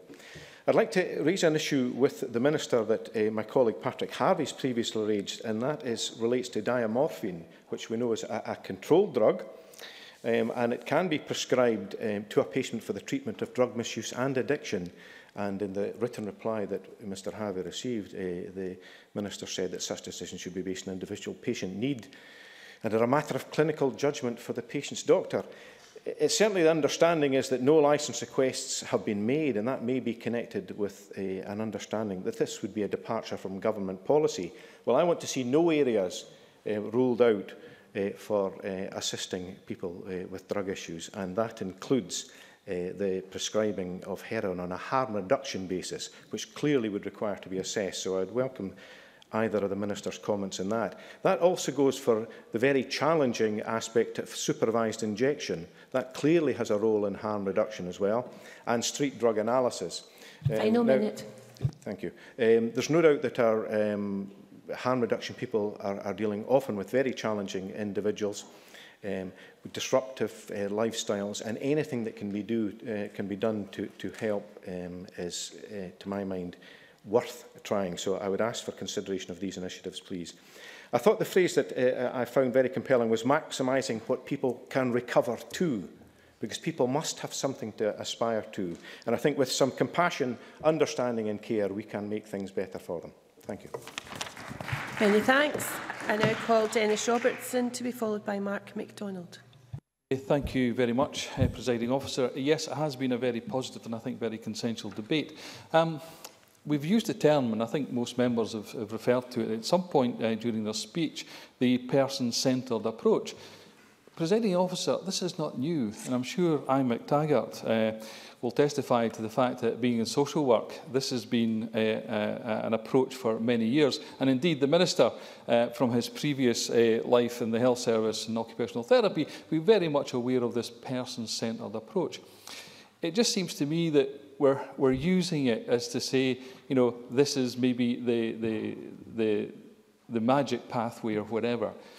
It isn't um, because we need to be absolutely sure when we're talking person centered, we're being inclusive. The person generally doesn't live their life in isolation, they live their life in a community, if not in a family. And if we don't involve the family or that community, then maybe perhaps like uh, Gil Parison was referring to, where is their sense of worth? Because before we actually move on to the road of recovery, a person has to, to try and identify where they're at and where they perhaps would like to be. And sometimes that requires someone, a professional, giving that appropriate guidance, giving them that sense that they're being listened to, giving them that sense that it, they are very much important. The only issue I perhaps would take just with uh, Gil Patterson's uh, comments in terms of uh, the poverty and uh, uh, drugs and, and, poverty and the uh, inequality in terms of health does create problems. But can I say to the Chamber, I've seen it in the affluent areas of the Northeast. I've seen drug addiction happen where money is absolutely no object. I've seen it in affecting families who, to some extent, are not aware that it's happening because it hasn't impacted on that family life. It hasn't impacted on the family bills. The mortgage is still getting paid, the other bills are getting paid, but yet the abuse, the misuse is still there. Presiding officer, I think we have moved on a great deal in the area of stigma towards people and drug addiction. And I think one of the areas that we've moved on, I think perhaps greater than maybe people give credit for, is in the community pharmacy service. Because I believe with the embracing of that service within the community, and, and I, I, commend the work that the community pharmacists are doing uh, within the whole of Scotland. And in my own uh, area of uh, Grampian, there's 131 community pharmacy practices, and I believe it's 127 are engaged. You know, and, and that is to be commended. But the community pharmacy can see the whole picture, the bigger picture, because they see the individual perhaps coming in and perhaps getting the prescription for methadone. But they can also see the wife or the brother or the father or the mother coming into that same practice, perhaps getting their prescription, perhaps a prescription that is helping them deal and cope with the addiction of either the, uh, one of their loved ones. Presiding officer, we have a long way to go, but we have made significant progress. Can I congratulate my friend and colleague Christian Allard for, for bringing to this debate a very personal, and sharing a very personal story. And many of us can actually look at our personal circumstances and reflect that where we are and where our families are. I too, in the social work area I used to work in, came across many examples of despair, distraught, and absolute tragedy. The parent asking, Why? Why did my daughter die? Why did it happen? What did I do wrong? And the guilt that they carry for the rest of their lives, believing that they should have done something. But in reality, presiding officer, they probably did all they could. It is when, it is when we turn our back on people requiring our help that we should feel guilty. It's when we turn our back on our communities and our society because we don't approve that we should feel guilty. I believe in this chamber we have the consensus to move things forward. And I appreciate what Mary Scanlon said.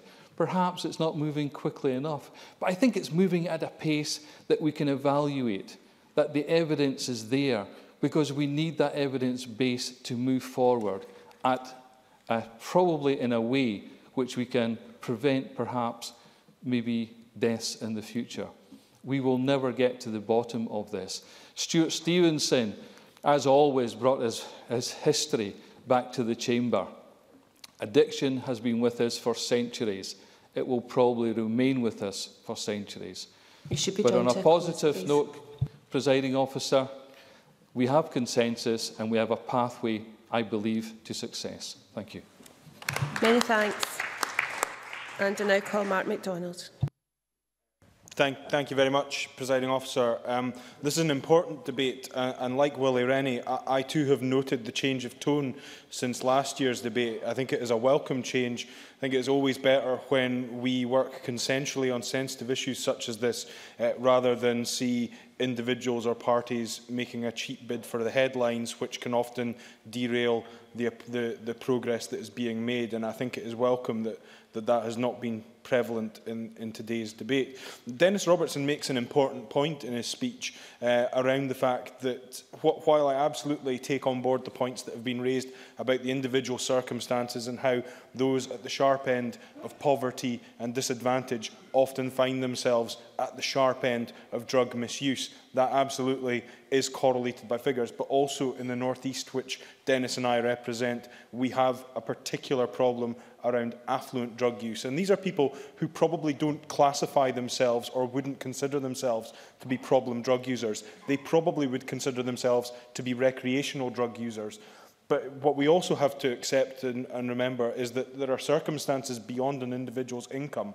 You know, uh, factors affecting an individual, such as, for example, abuse of sexual or domestic nature, don't confine themselves to those in the lowest income brackets. And we must remember that as well, that it is not solely by an individual's income that we should define them in terms of how uh, drug misuse can affect them. And I thought Christian Allard brought to the chamber an extremely powerful uh, personal testimony. And in last year's debate, I, I made the point that if I was to take my school yearbook in, I could point to individuals, individuals who, to all intents and purposes, could have been said to have the same life chances that I had, but who had fallen into addiction. And again, that goes to the heart of we don't know what may have gone on or been going on in the private lives of those individuals, which may have affected the way that their lives went and the trajectory that their lives took. But there is much, I think, to be welcomed, and, and others have commented on treatment statistics. And in Aberdeen City, uh, I note that uh, in, in terms of drugs and alcohol, 99.5% uh, are being treated within three weeks, and nobody in Aberdeen City is waiting more than six weeks for treatment. I think that is an extremely welcome statistic. Obviously, we want to move it to the point at which it is 100% for three weeks, but I think to have 100% being treated within six weeks, I think is uh, nonetheless extremely positive. I know also in terms of uh, drug deaths, while absolutely drug deaths are probably a lot higher than we would wish to see them. Um, we, it's worth noting that drug deaths in the under 25 age bracket are at the lowest level since records began. And indeed, in the city of Aberdeen, um, drug deaths have reduced from 31 in 2010 to 16 in 2012. I think that, again, is welcome progress. And in terms of the, the drug taking, uh, I know drug taking in the general population is falling 12.9% uh, in 2008 to 9.1% in 2010-11 among 16 to 59-year-olds who self-report their drug use. Uh, and amongst young people, it's uh, at the lowest in a decade, 23% in 2002 to 11% in 2010 at the statistics uh, published by ISD in December 2011. And around, there are around 3,200 drug users within the city of Aberdeen and Aberdeen, uh, uh, Aberdeen Drugs Action uh, tell me that around 2,000 of these uh, drug users uh, are currently accessing drug treatment. Obviously, that then means there are 1,200 out there who we need to reach uh, and try and encourage them to also seek treatment. I would imagine some of them will fall into the category that I had uh, mentioned earlier.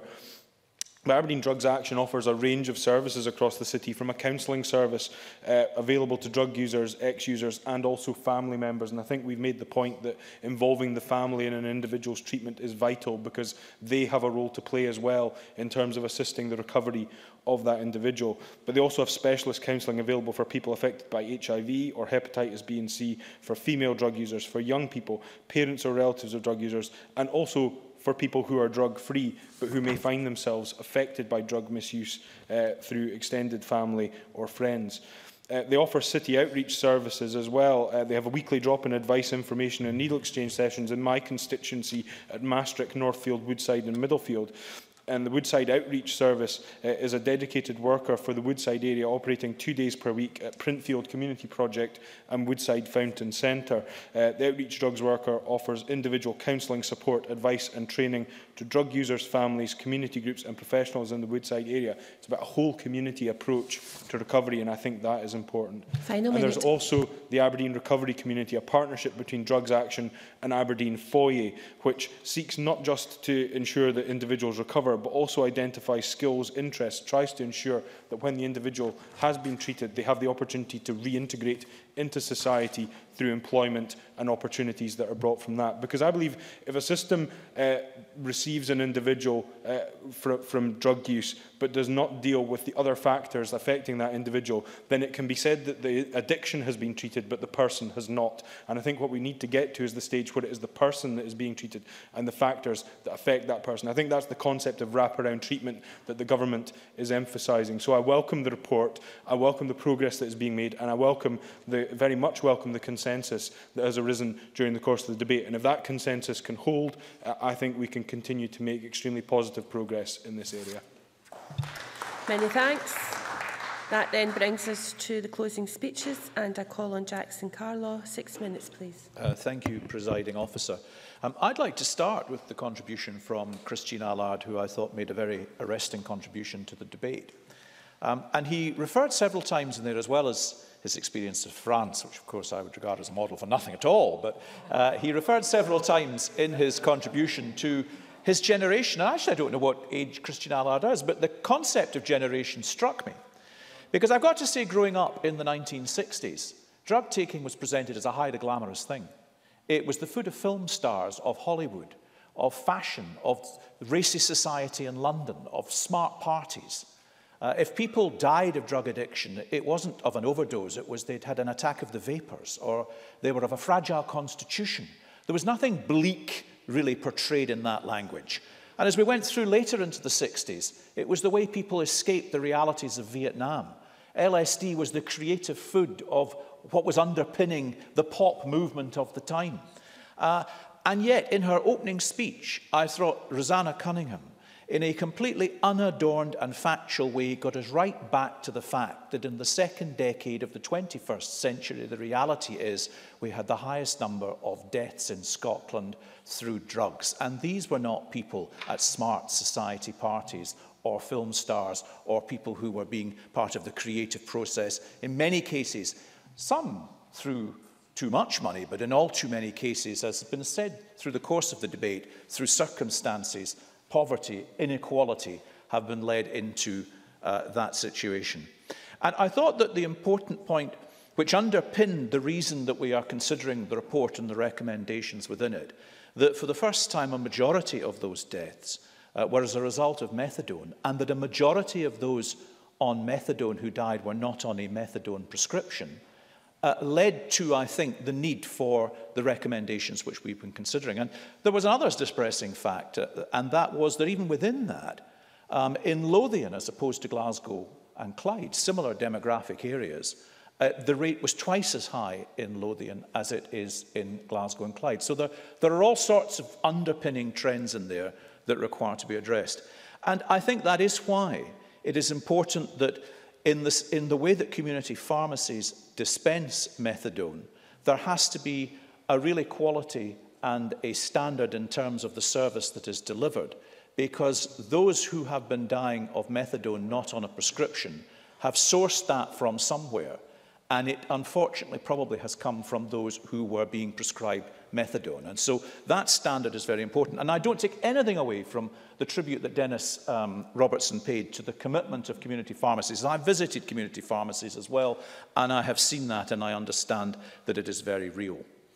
But underpinning many of these recommendations, I think it's not just a legislative will, and I think that the reason Rosanna Cunningham could be so unadorned and frank is because there is appreciation in this chamber that this is a subject that has to be approached on a cross-party consensual basis and that there is no mileage to be gained in exploiting bad news where bad news exists and requires to be dealt with.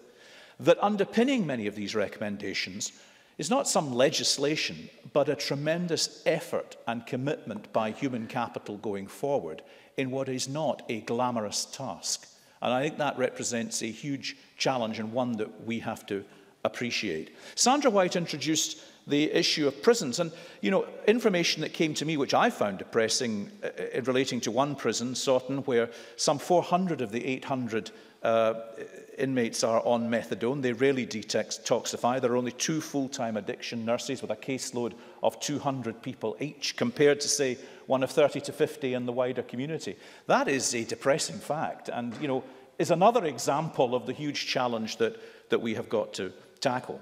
And on a lighter note, uh, Deputy Presiding Officer, you said you were unable to hear Jamie Hepburn, and I was going to offer to swap seats with you. Um, eh, Mr Hepburn, of course, makes a profession of gently admonishing me in debate, so if I can return the compliment by saying that today his was a model, if not a triumph, of improvisation.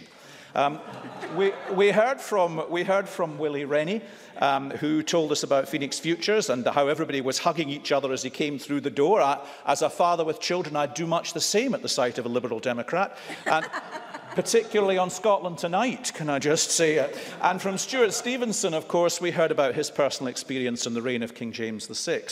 But I thought when we came back to uh, Jamidi, uh, and I think this was a point that came out from various other members, was about the stigma attached and the need to tackle all of that. I pay tribute to the work of the Scottish Drugs Forum and to uh, the um, to the addiction worker training project that I know the, the minister has visited because her photo is on the wall with many of those there. And without exciting the temper of the debate, can I say that one of the things that would most help women to recover would be greater childcare. And I hope we can resist to make the obvious point in the context of this week in regard to that. Um, what they want to see is, as Anne McTaggart, I think, focused on, the, the trauma that affects families, the circumstances that led to that, a greater understanding and appreciation of that and projection of that into recovery, which, as Willie Rennie, I think, said, is an improving situation if we define it. I thought that both Elaine Murray and Graham Pearson uh, argued the amendment that the Labour Party have made in terms which I felt were constructive and we will be happy to support that. But fundamentally, the Minister should know that she has the support of this party in the work that she and her colleague are doing. Many thanks. And I now call on Rhoda Grant. You have eight minutes.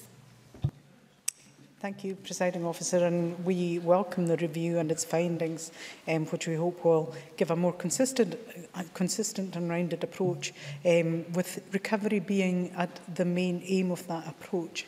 Uh, we want to see clear commitment also from the Scottish Government to improving the routes to recovery from drug addiction, and that's why we're asking the Scottish Government to come forward uh, with a timetable for action. Many speakers today stated what I think is almost obvious, that the, this must be person-centred. Elaine Murray, John Pentland and many others said this. Um, this the, everyone's recovery is different because everyone's addiction is different and the causes for every, everyone's addiction is different.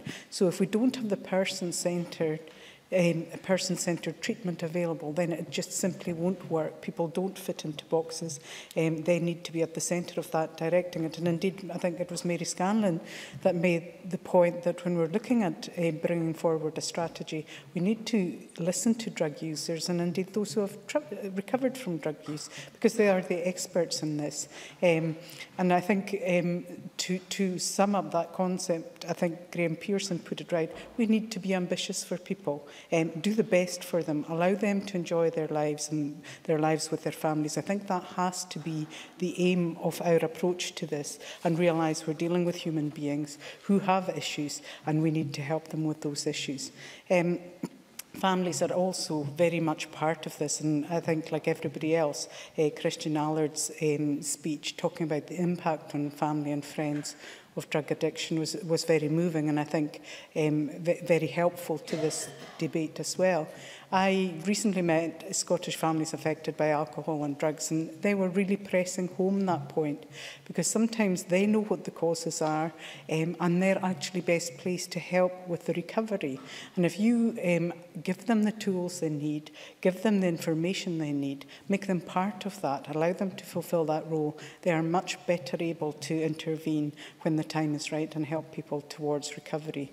Um, and I think that was a point also made by Gil Patterson in the debate. A number of people talked about the age profile of, of people who have been addicted to heroin.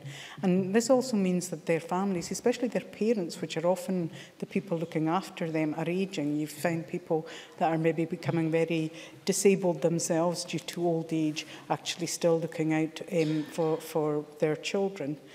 There's also an issue uh, surrounding young carers, and I think we have to deal with this um, you know, very clearly because I think there's a real fear from young carers about accessing the support that's available to them because they need um, the support due to the addiction of a parent and there's the fear of being taken into care as well and we need to look at a child-centred approach to this and I, I remember um, walking into a chemist one day and seeing a, a young lad who was probably about 10 um, and as he saw me coming I, it wasn't embarrassment on his face it was absolute shame on his face as he stood beside his mother who was being handed her methadone by the pharmacist. And he was, he was dreading my coming up and being part of that. And it really brought home to me the impact that stigma has, because that young lad was very aware of the stigma and was, was aware of what he thought my, my reaction was going to be. And I just felt as a society, we were really letting him down because he obviously didn't have the support, but he was living with the stigma every day. And I think a lot of people talked about the stigma, Jamidi among others. Um, the UK Drug Policy Commission actually um, had a report into this where, where a number of members have talked about, um, talking about the feelings of shame and worthlessness um, engendered through stigma stigmatisation. And that has an impact on somebody's self worth, and you can never actually help somebody through this unless you build their self worth. Um, and you know, families also describe that they're too afraid to reach out for help because they're too ashamed to speak to anybody about what's happening. If we don't deal with the stigma of this, we really hamper um, recovery and we actually stop people seeking help, and therefore um, their their journey to towards recovery. Um, we also need, and I, I think our amendment makes it clear, to not only tackle um, the causes, help people towards recovery, but, but also tackle the causes um, of addiction. And I think a lot of people talked about this today. Uh, Gil Patterson talked about inequality, and I think he was right. But all, there are also the deeper causes, uh, trauma, mental health, as Mary Scanlon mentioned, None of those are income related, but they are also causes uh, for addiction. So we need to look at all of those in the round and tackle them. And we need to also tackle those for people who who are, are suffering from addiction because I think it was Willie Rennie said that actually the fear of recovery was so great because once you stopped using the drugs, once you had the drugs to help you deal with the problems that, actually caused that addiction, you had to go back and deal with those problems that were unsurmountable before and continue to be unless people get the real help they need uh, to deal with those issues the, the, the debate is really about opioid replacements, and I think they have their place, and I think that everyone has agreed that. We need to make sure, of course, that the prescription is right.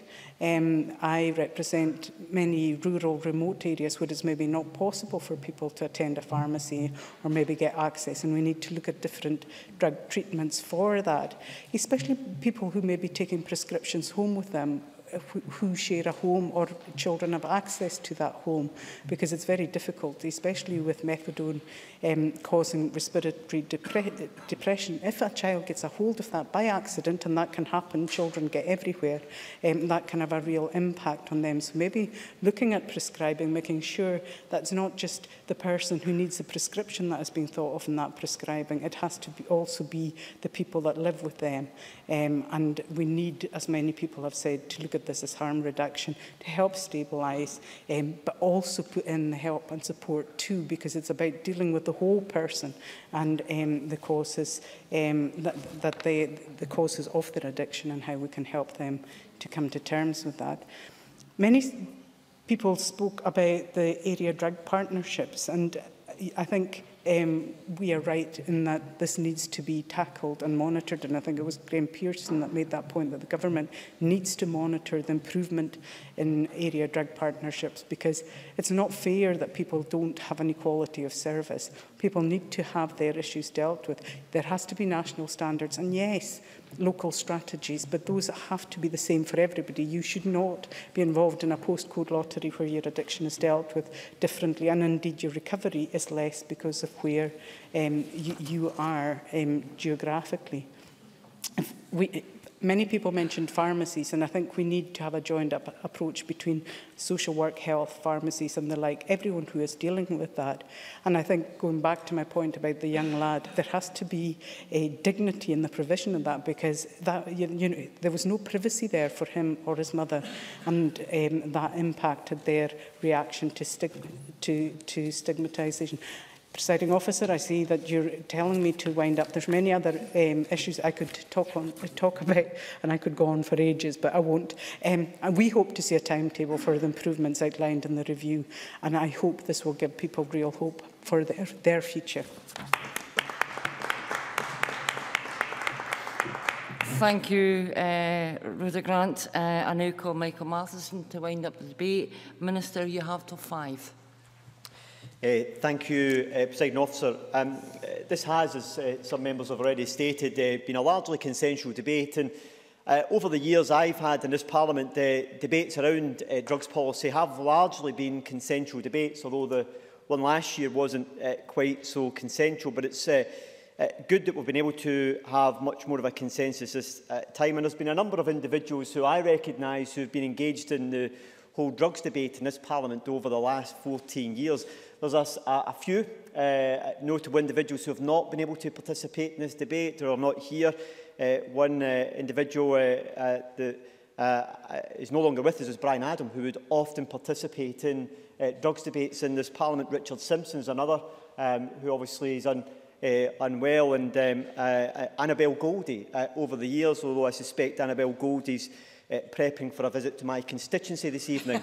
so, uh, uh, so there's a number of individuals who I, I recognise over the time would have uh, participated in our debate. I think it's also been a helpful debate in uh, putting the whole uh, drugs policy issue in that wider context about inequality in our society. And I thought Jackson Carlaw, showing his age a little, was able to reflect on how over the last generation almost there has been a, and I do say generation almost, there has been a change in the way in which uh, uh, uh, individuals have entered into uh, drug use uh, overall. And uh, some of the personal experiences that we've heard from individuals in the course of the debate have uh, demonstrated that, in particular from Christian Allard and also uh, Mark MacDonald made reference to it as well. And I know from my own personal experience a number of Uh, uh, good friends who I've lost over the years, uh, either through directly through drug use, uh, associated with illness due to drug use, or through violence associated with drug use, all of whom uh, sadly are no longer uh, with us, some of whom were my uh, best friends at school. Uh, so there are, uh, you know, there are many in the chamber who have been touched by the, uh, the damage that uh, drugs misuse can uh, cause. I think the uh, report in itself, though, I think helpfully underlines that the Road to Recovery approach, which we published five years ago, is the right approach. It confirms that we are moving in the right direction uh, and it also highlights some areas where we have challenges and where we need to take further action in order to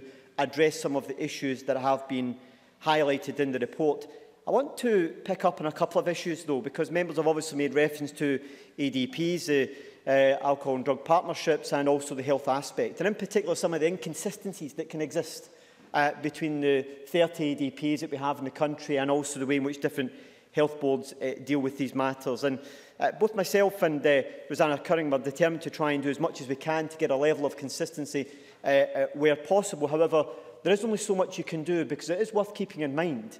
Uh, the alcohol drug partnerships are that. They are partnerships. They are partnerships between local authorities and health boards and others in order to try and reflect what's needed within that local community most effectively.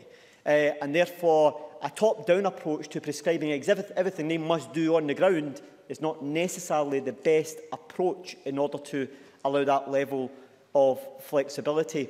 Although, as my, uh, can I just finish this point? Although, as my, as my colleague Rosanna Curran highlighted, there's a range of priorities uh, that ministers set that they expect them to report on an annual basis from the heat standard through to uh, the Scottish Drugs Misuse Database, uh, quality data uh, in the National Drug and Alcohol Treatment Waiting Time Database and also an increasing uh, number of uh, naloxone kits being made available. So some of these aspects can be measured, uh, but I think it's worth keeping in mind that they are partnerships uh, and we have to allow a level of flexibility in order to reflect local need. And I'll give way to Paul Uh, thank the Minister for, for giving way. um, from, from his seat, from what he sees within the NHS, do, does he think he's getting enough senior people within the NHS committed to this job? Because it's a huge job that crosses many, many different departments and responsibilities in government. But do you think the NHS is pulling its weight? Minister. Well, uh, that was me coming to the next part, and that is around health. And I think in the health aspect, we can get uh, greater consistency uh, because of the nature of the way in which we configure health services here in Scotland. And I Uh, I've set out, um, uh, as uh, Rosanna Cunningham did, that um, I'm very clear that I want to see much greater leadership within the NHS in this area. And when I met with um, uh, primary and secondary healthcare teams um, a few weeks ago to discuss an aspect of this report, I'm very clear that I expect all of the boards to have an accountable officer at a decision-making level in order to take responsibility and show leadership in this area of policy within individual boards. That work is now taking place and we are expecting all boards to demonstrate that and to come forward with the right individual to do that. So there is more we can do uh, and I am determined to make sure we do that and that we have someone accountable for making sure that that happens. Whether that is the uh, the director of public health or whether it's the uh, whether it happens to be the medical director, I don't want to prescribe that, but we have to make sure that it's someone of sufficient seniority in order to make sure that we get the type of change that I think is uh, necessary. But maybe just to pick up on where I do think we can get greater improvement. And, you know, Elaine Murray and her contribution uh, made reference to, for example, getting access to psychological services. Uh, you know, that can be challenging at times, and it has been challenging for many years. That's why we're bringing in the heat target uh, for psychological services, which will come into force as of December next year, which will allow us to make sure that we have a clear timeline for those who are referred to get access to those services. We've seen an increase in the level of psychological therapies being available across the country, and work to try and help to support more of that to take place is ongoing at this present time. But that's an example of, I think, where we can get greater consistency across the country by taking an approach where we set a very clear uh, standard at a, a national level. Can I also just pick up on the issue around uh, dealing with some of the health challenges that this report highlights? Because um, a key part of uh, dealing with uh, the health challenges also to make sure that uh, GPs uh, are properly engaged in this process. Uh, and I, uh, would you call, uh, because primary care is absolutely central to how we deliver some aspects of the, uh, the challenges around the, uh, uh, drug recovery model. Can I say, though, um, uh, there are some challenges in doing that uh, because general practitioners are independent contractors. Uh, we have to look at how we can build that into the contract in a way, but to do that is not something which is in the gift of government just to say it's going to happen. We have to negotiate that with the profession and look at taking that type of issue uh, forward. It's on that basis, uh, and I'm keen to have a consensus in this debate, I'm uh, we are unable to accept the Labour amendment, not because of the main part of it, because of the final element around setting a time frame for some of these things to take place. I'm not in a position to be able to set a time frame where I'm going to be able to get that agreement with GPs at a national level. Um, I wish I was, uh, but the reality is that I'm not, and I think it would be false for me to give an indication that that would be uh, the case, other than to say it's on our agenda and it's part of the discussions which we are having. So um, it's not that I don't wish to, or we don't wish to strike a, a, a consensus in this matter. It's just simply a matter of fact that we aren't able to set a specific time frame around this particular issue. And I'll give way to uh, Mr Finney. John Finney. Recognising the issue you say about uh, general practitioners, Minister, would you acknowledge that there would need to be a, a ministerial lead? So on issues like prescribing heroin, supervised injection and street drug testing, these are something that you would have to initiate. Minister. Well, I think any, in any of these types of issues, taking them forward with GPs as part of the GMS contract have to be issues of negotiation and we would have to explore what they would be. Um, uh, but as I say, um, uh, as a government, uh, they are very much on our agenda. Um, what we have to do is work with other colleagues to try and take them forward. Can I turn also uh, to the issue of uh, uh, uh, the use of uh, prescribing through um, uh, our community pharmacy uh, services? Willie Rennie made the point, I think, very importantly, is that community pharmacists, as did Jackson Carlow, community pharmacists play an extremely important part uh, in the jigsaw uh, around the recovery uh, model. I think it was unfortunate last year at some of the publicity and the language around the methadone programme through our uh, community pharmacy provision, uh, and thankfully we have moved beyond that uh, in moving forward. Uh, we published in September uh, Prescribing for Excellence, and a key part of that is about uh, developing and implementing NHS standards specifications around alcohol and drug services, particularly around uh, pharmaceutical uh, services, which will help us to drive forward improvements in standards in this area. And I think we all recognise that community pharmacies have a, an ongoing role to play in making sure that we can deliver an effective recovery model for drugs policy in Scotland.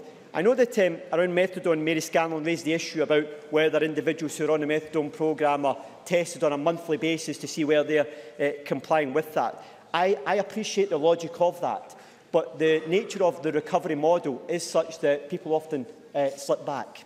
Uh, and that type of approach to testing every month is a, a, a method which is recognised as not being valuable and it can undermine uh, the recovery model in itself. It's also very resource intensive and also it doesn't actually demonstrate much in the way of outcomes. But I do appreciate the point she's making. We need to make sure uh, that there are proper checks in the system.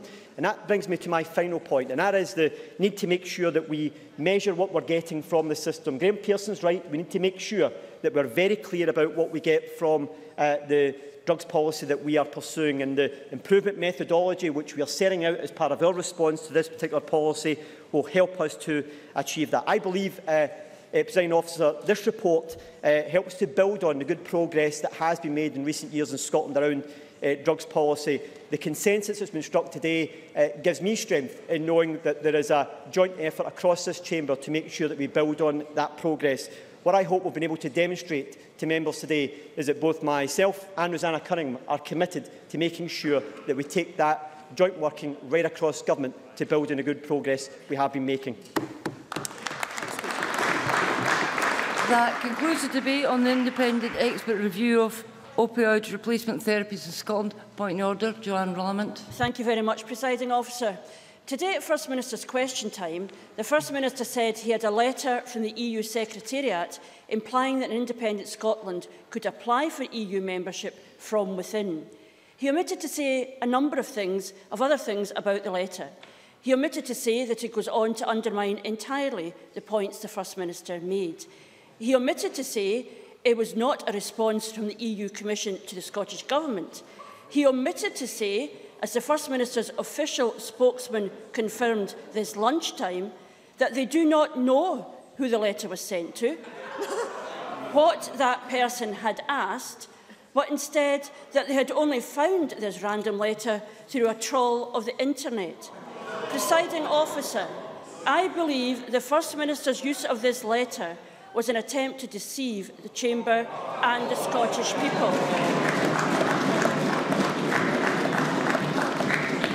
Can the, can the presiding officer tell me if government by Google is in order?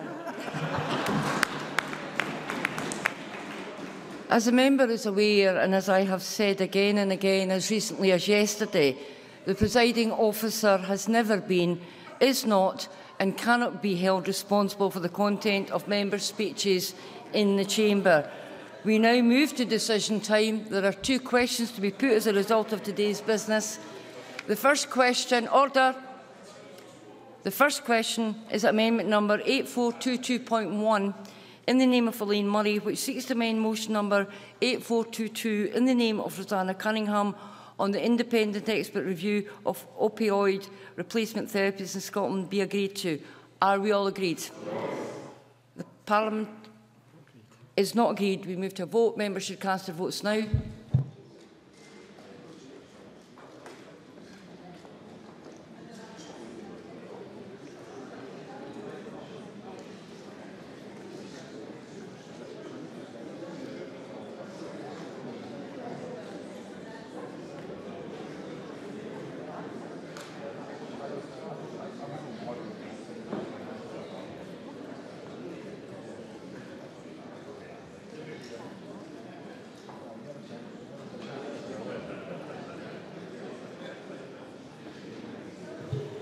The result of the vote of amendment number 8422.1 in the name of Elaine Murray is as follows.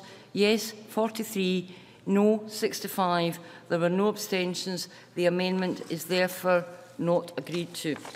The next question is that motion number 8422 in the name of Rosanna Cunningham on the independent expert review of opioid replacement therapies in Scotland be agreed to? Are we all agreed? Yes. The motion is therefore agreed to. That concludes decision time. I now close this meeting.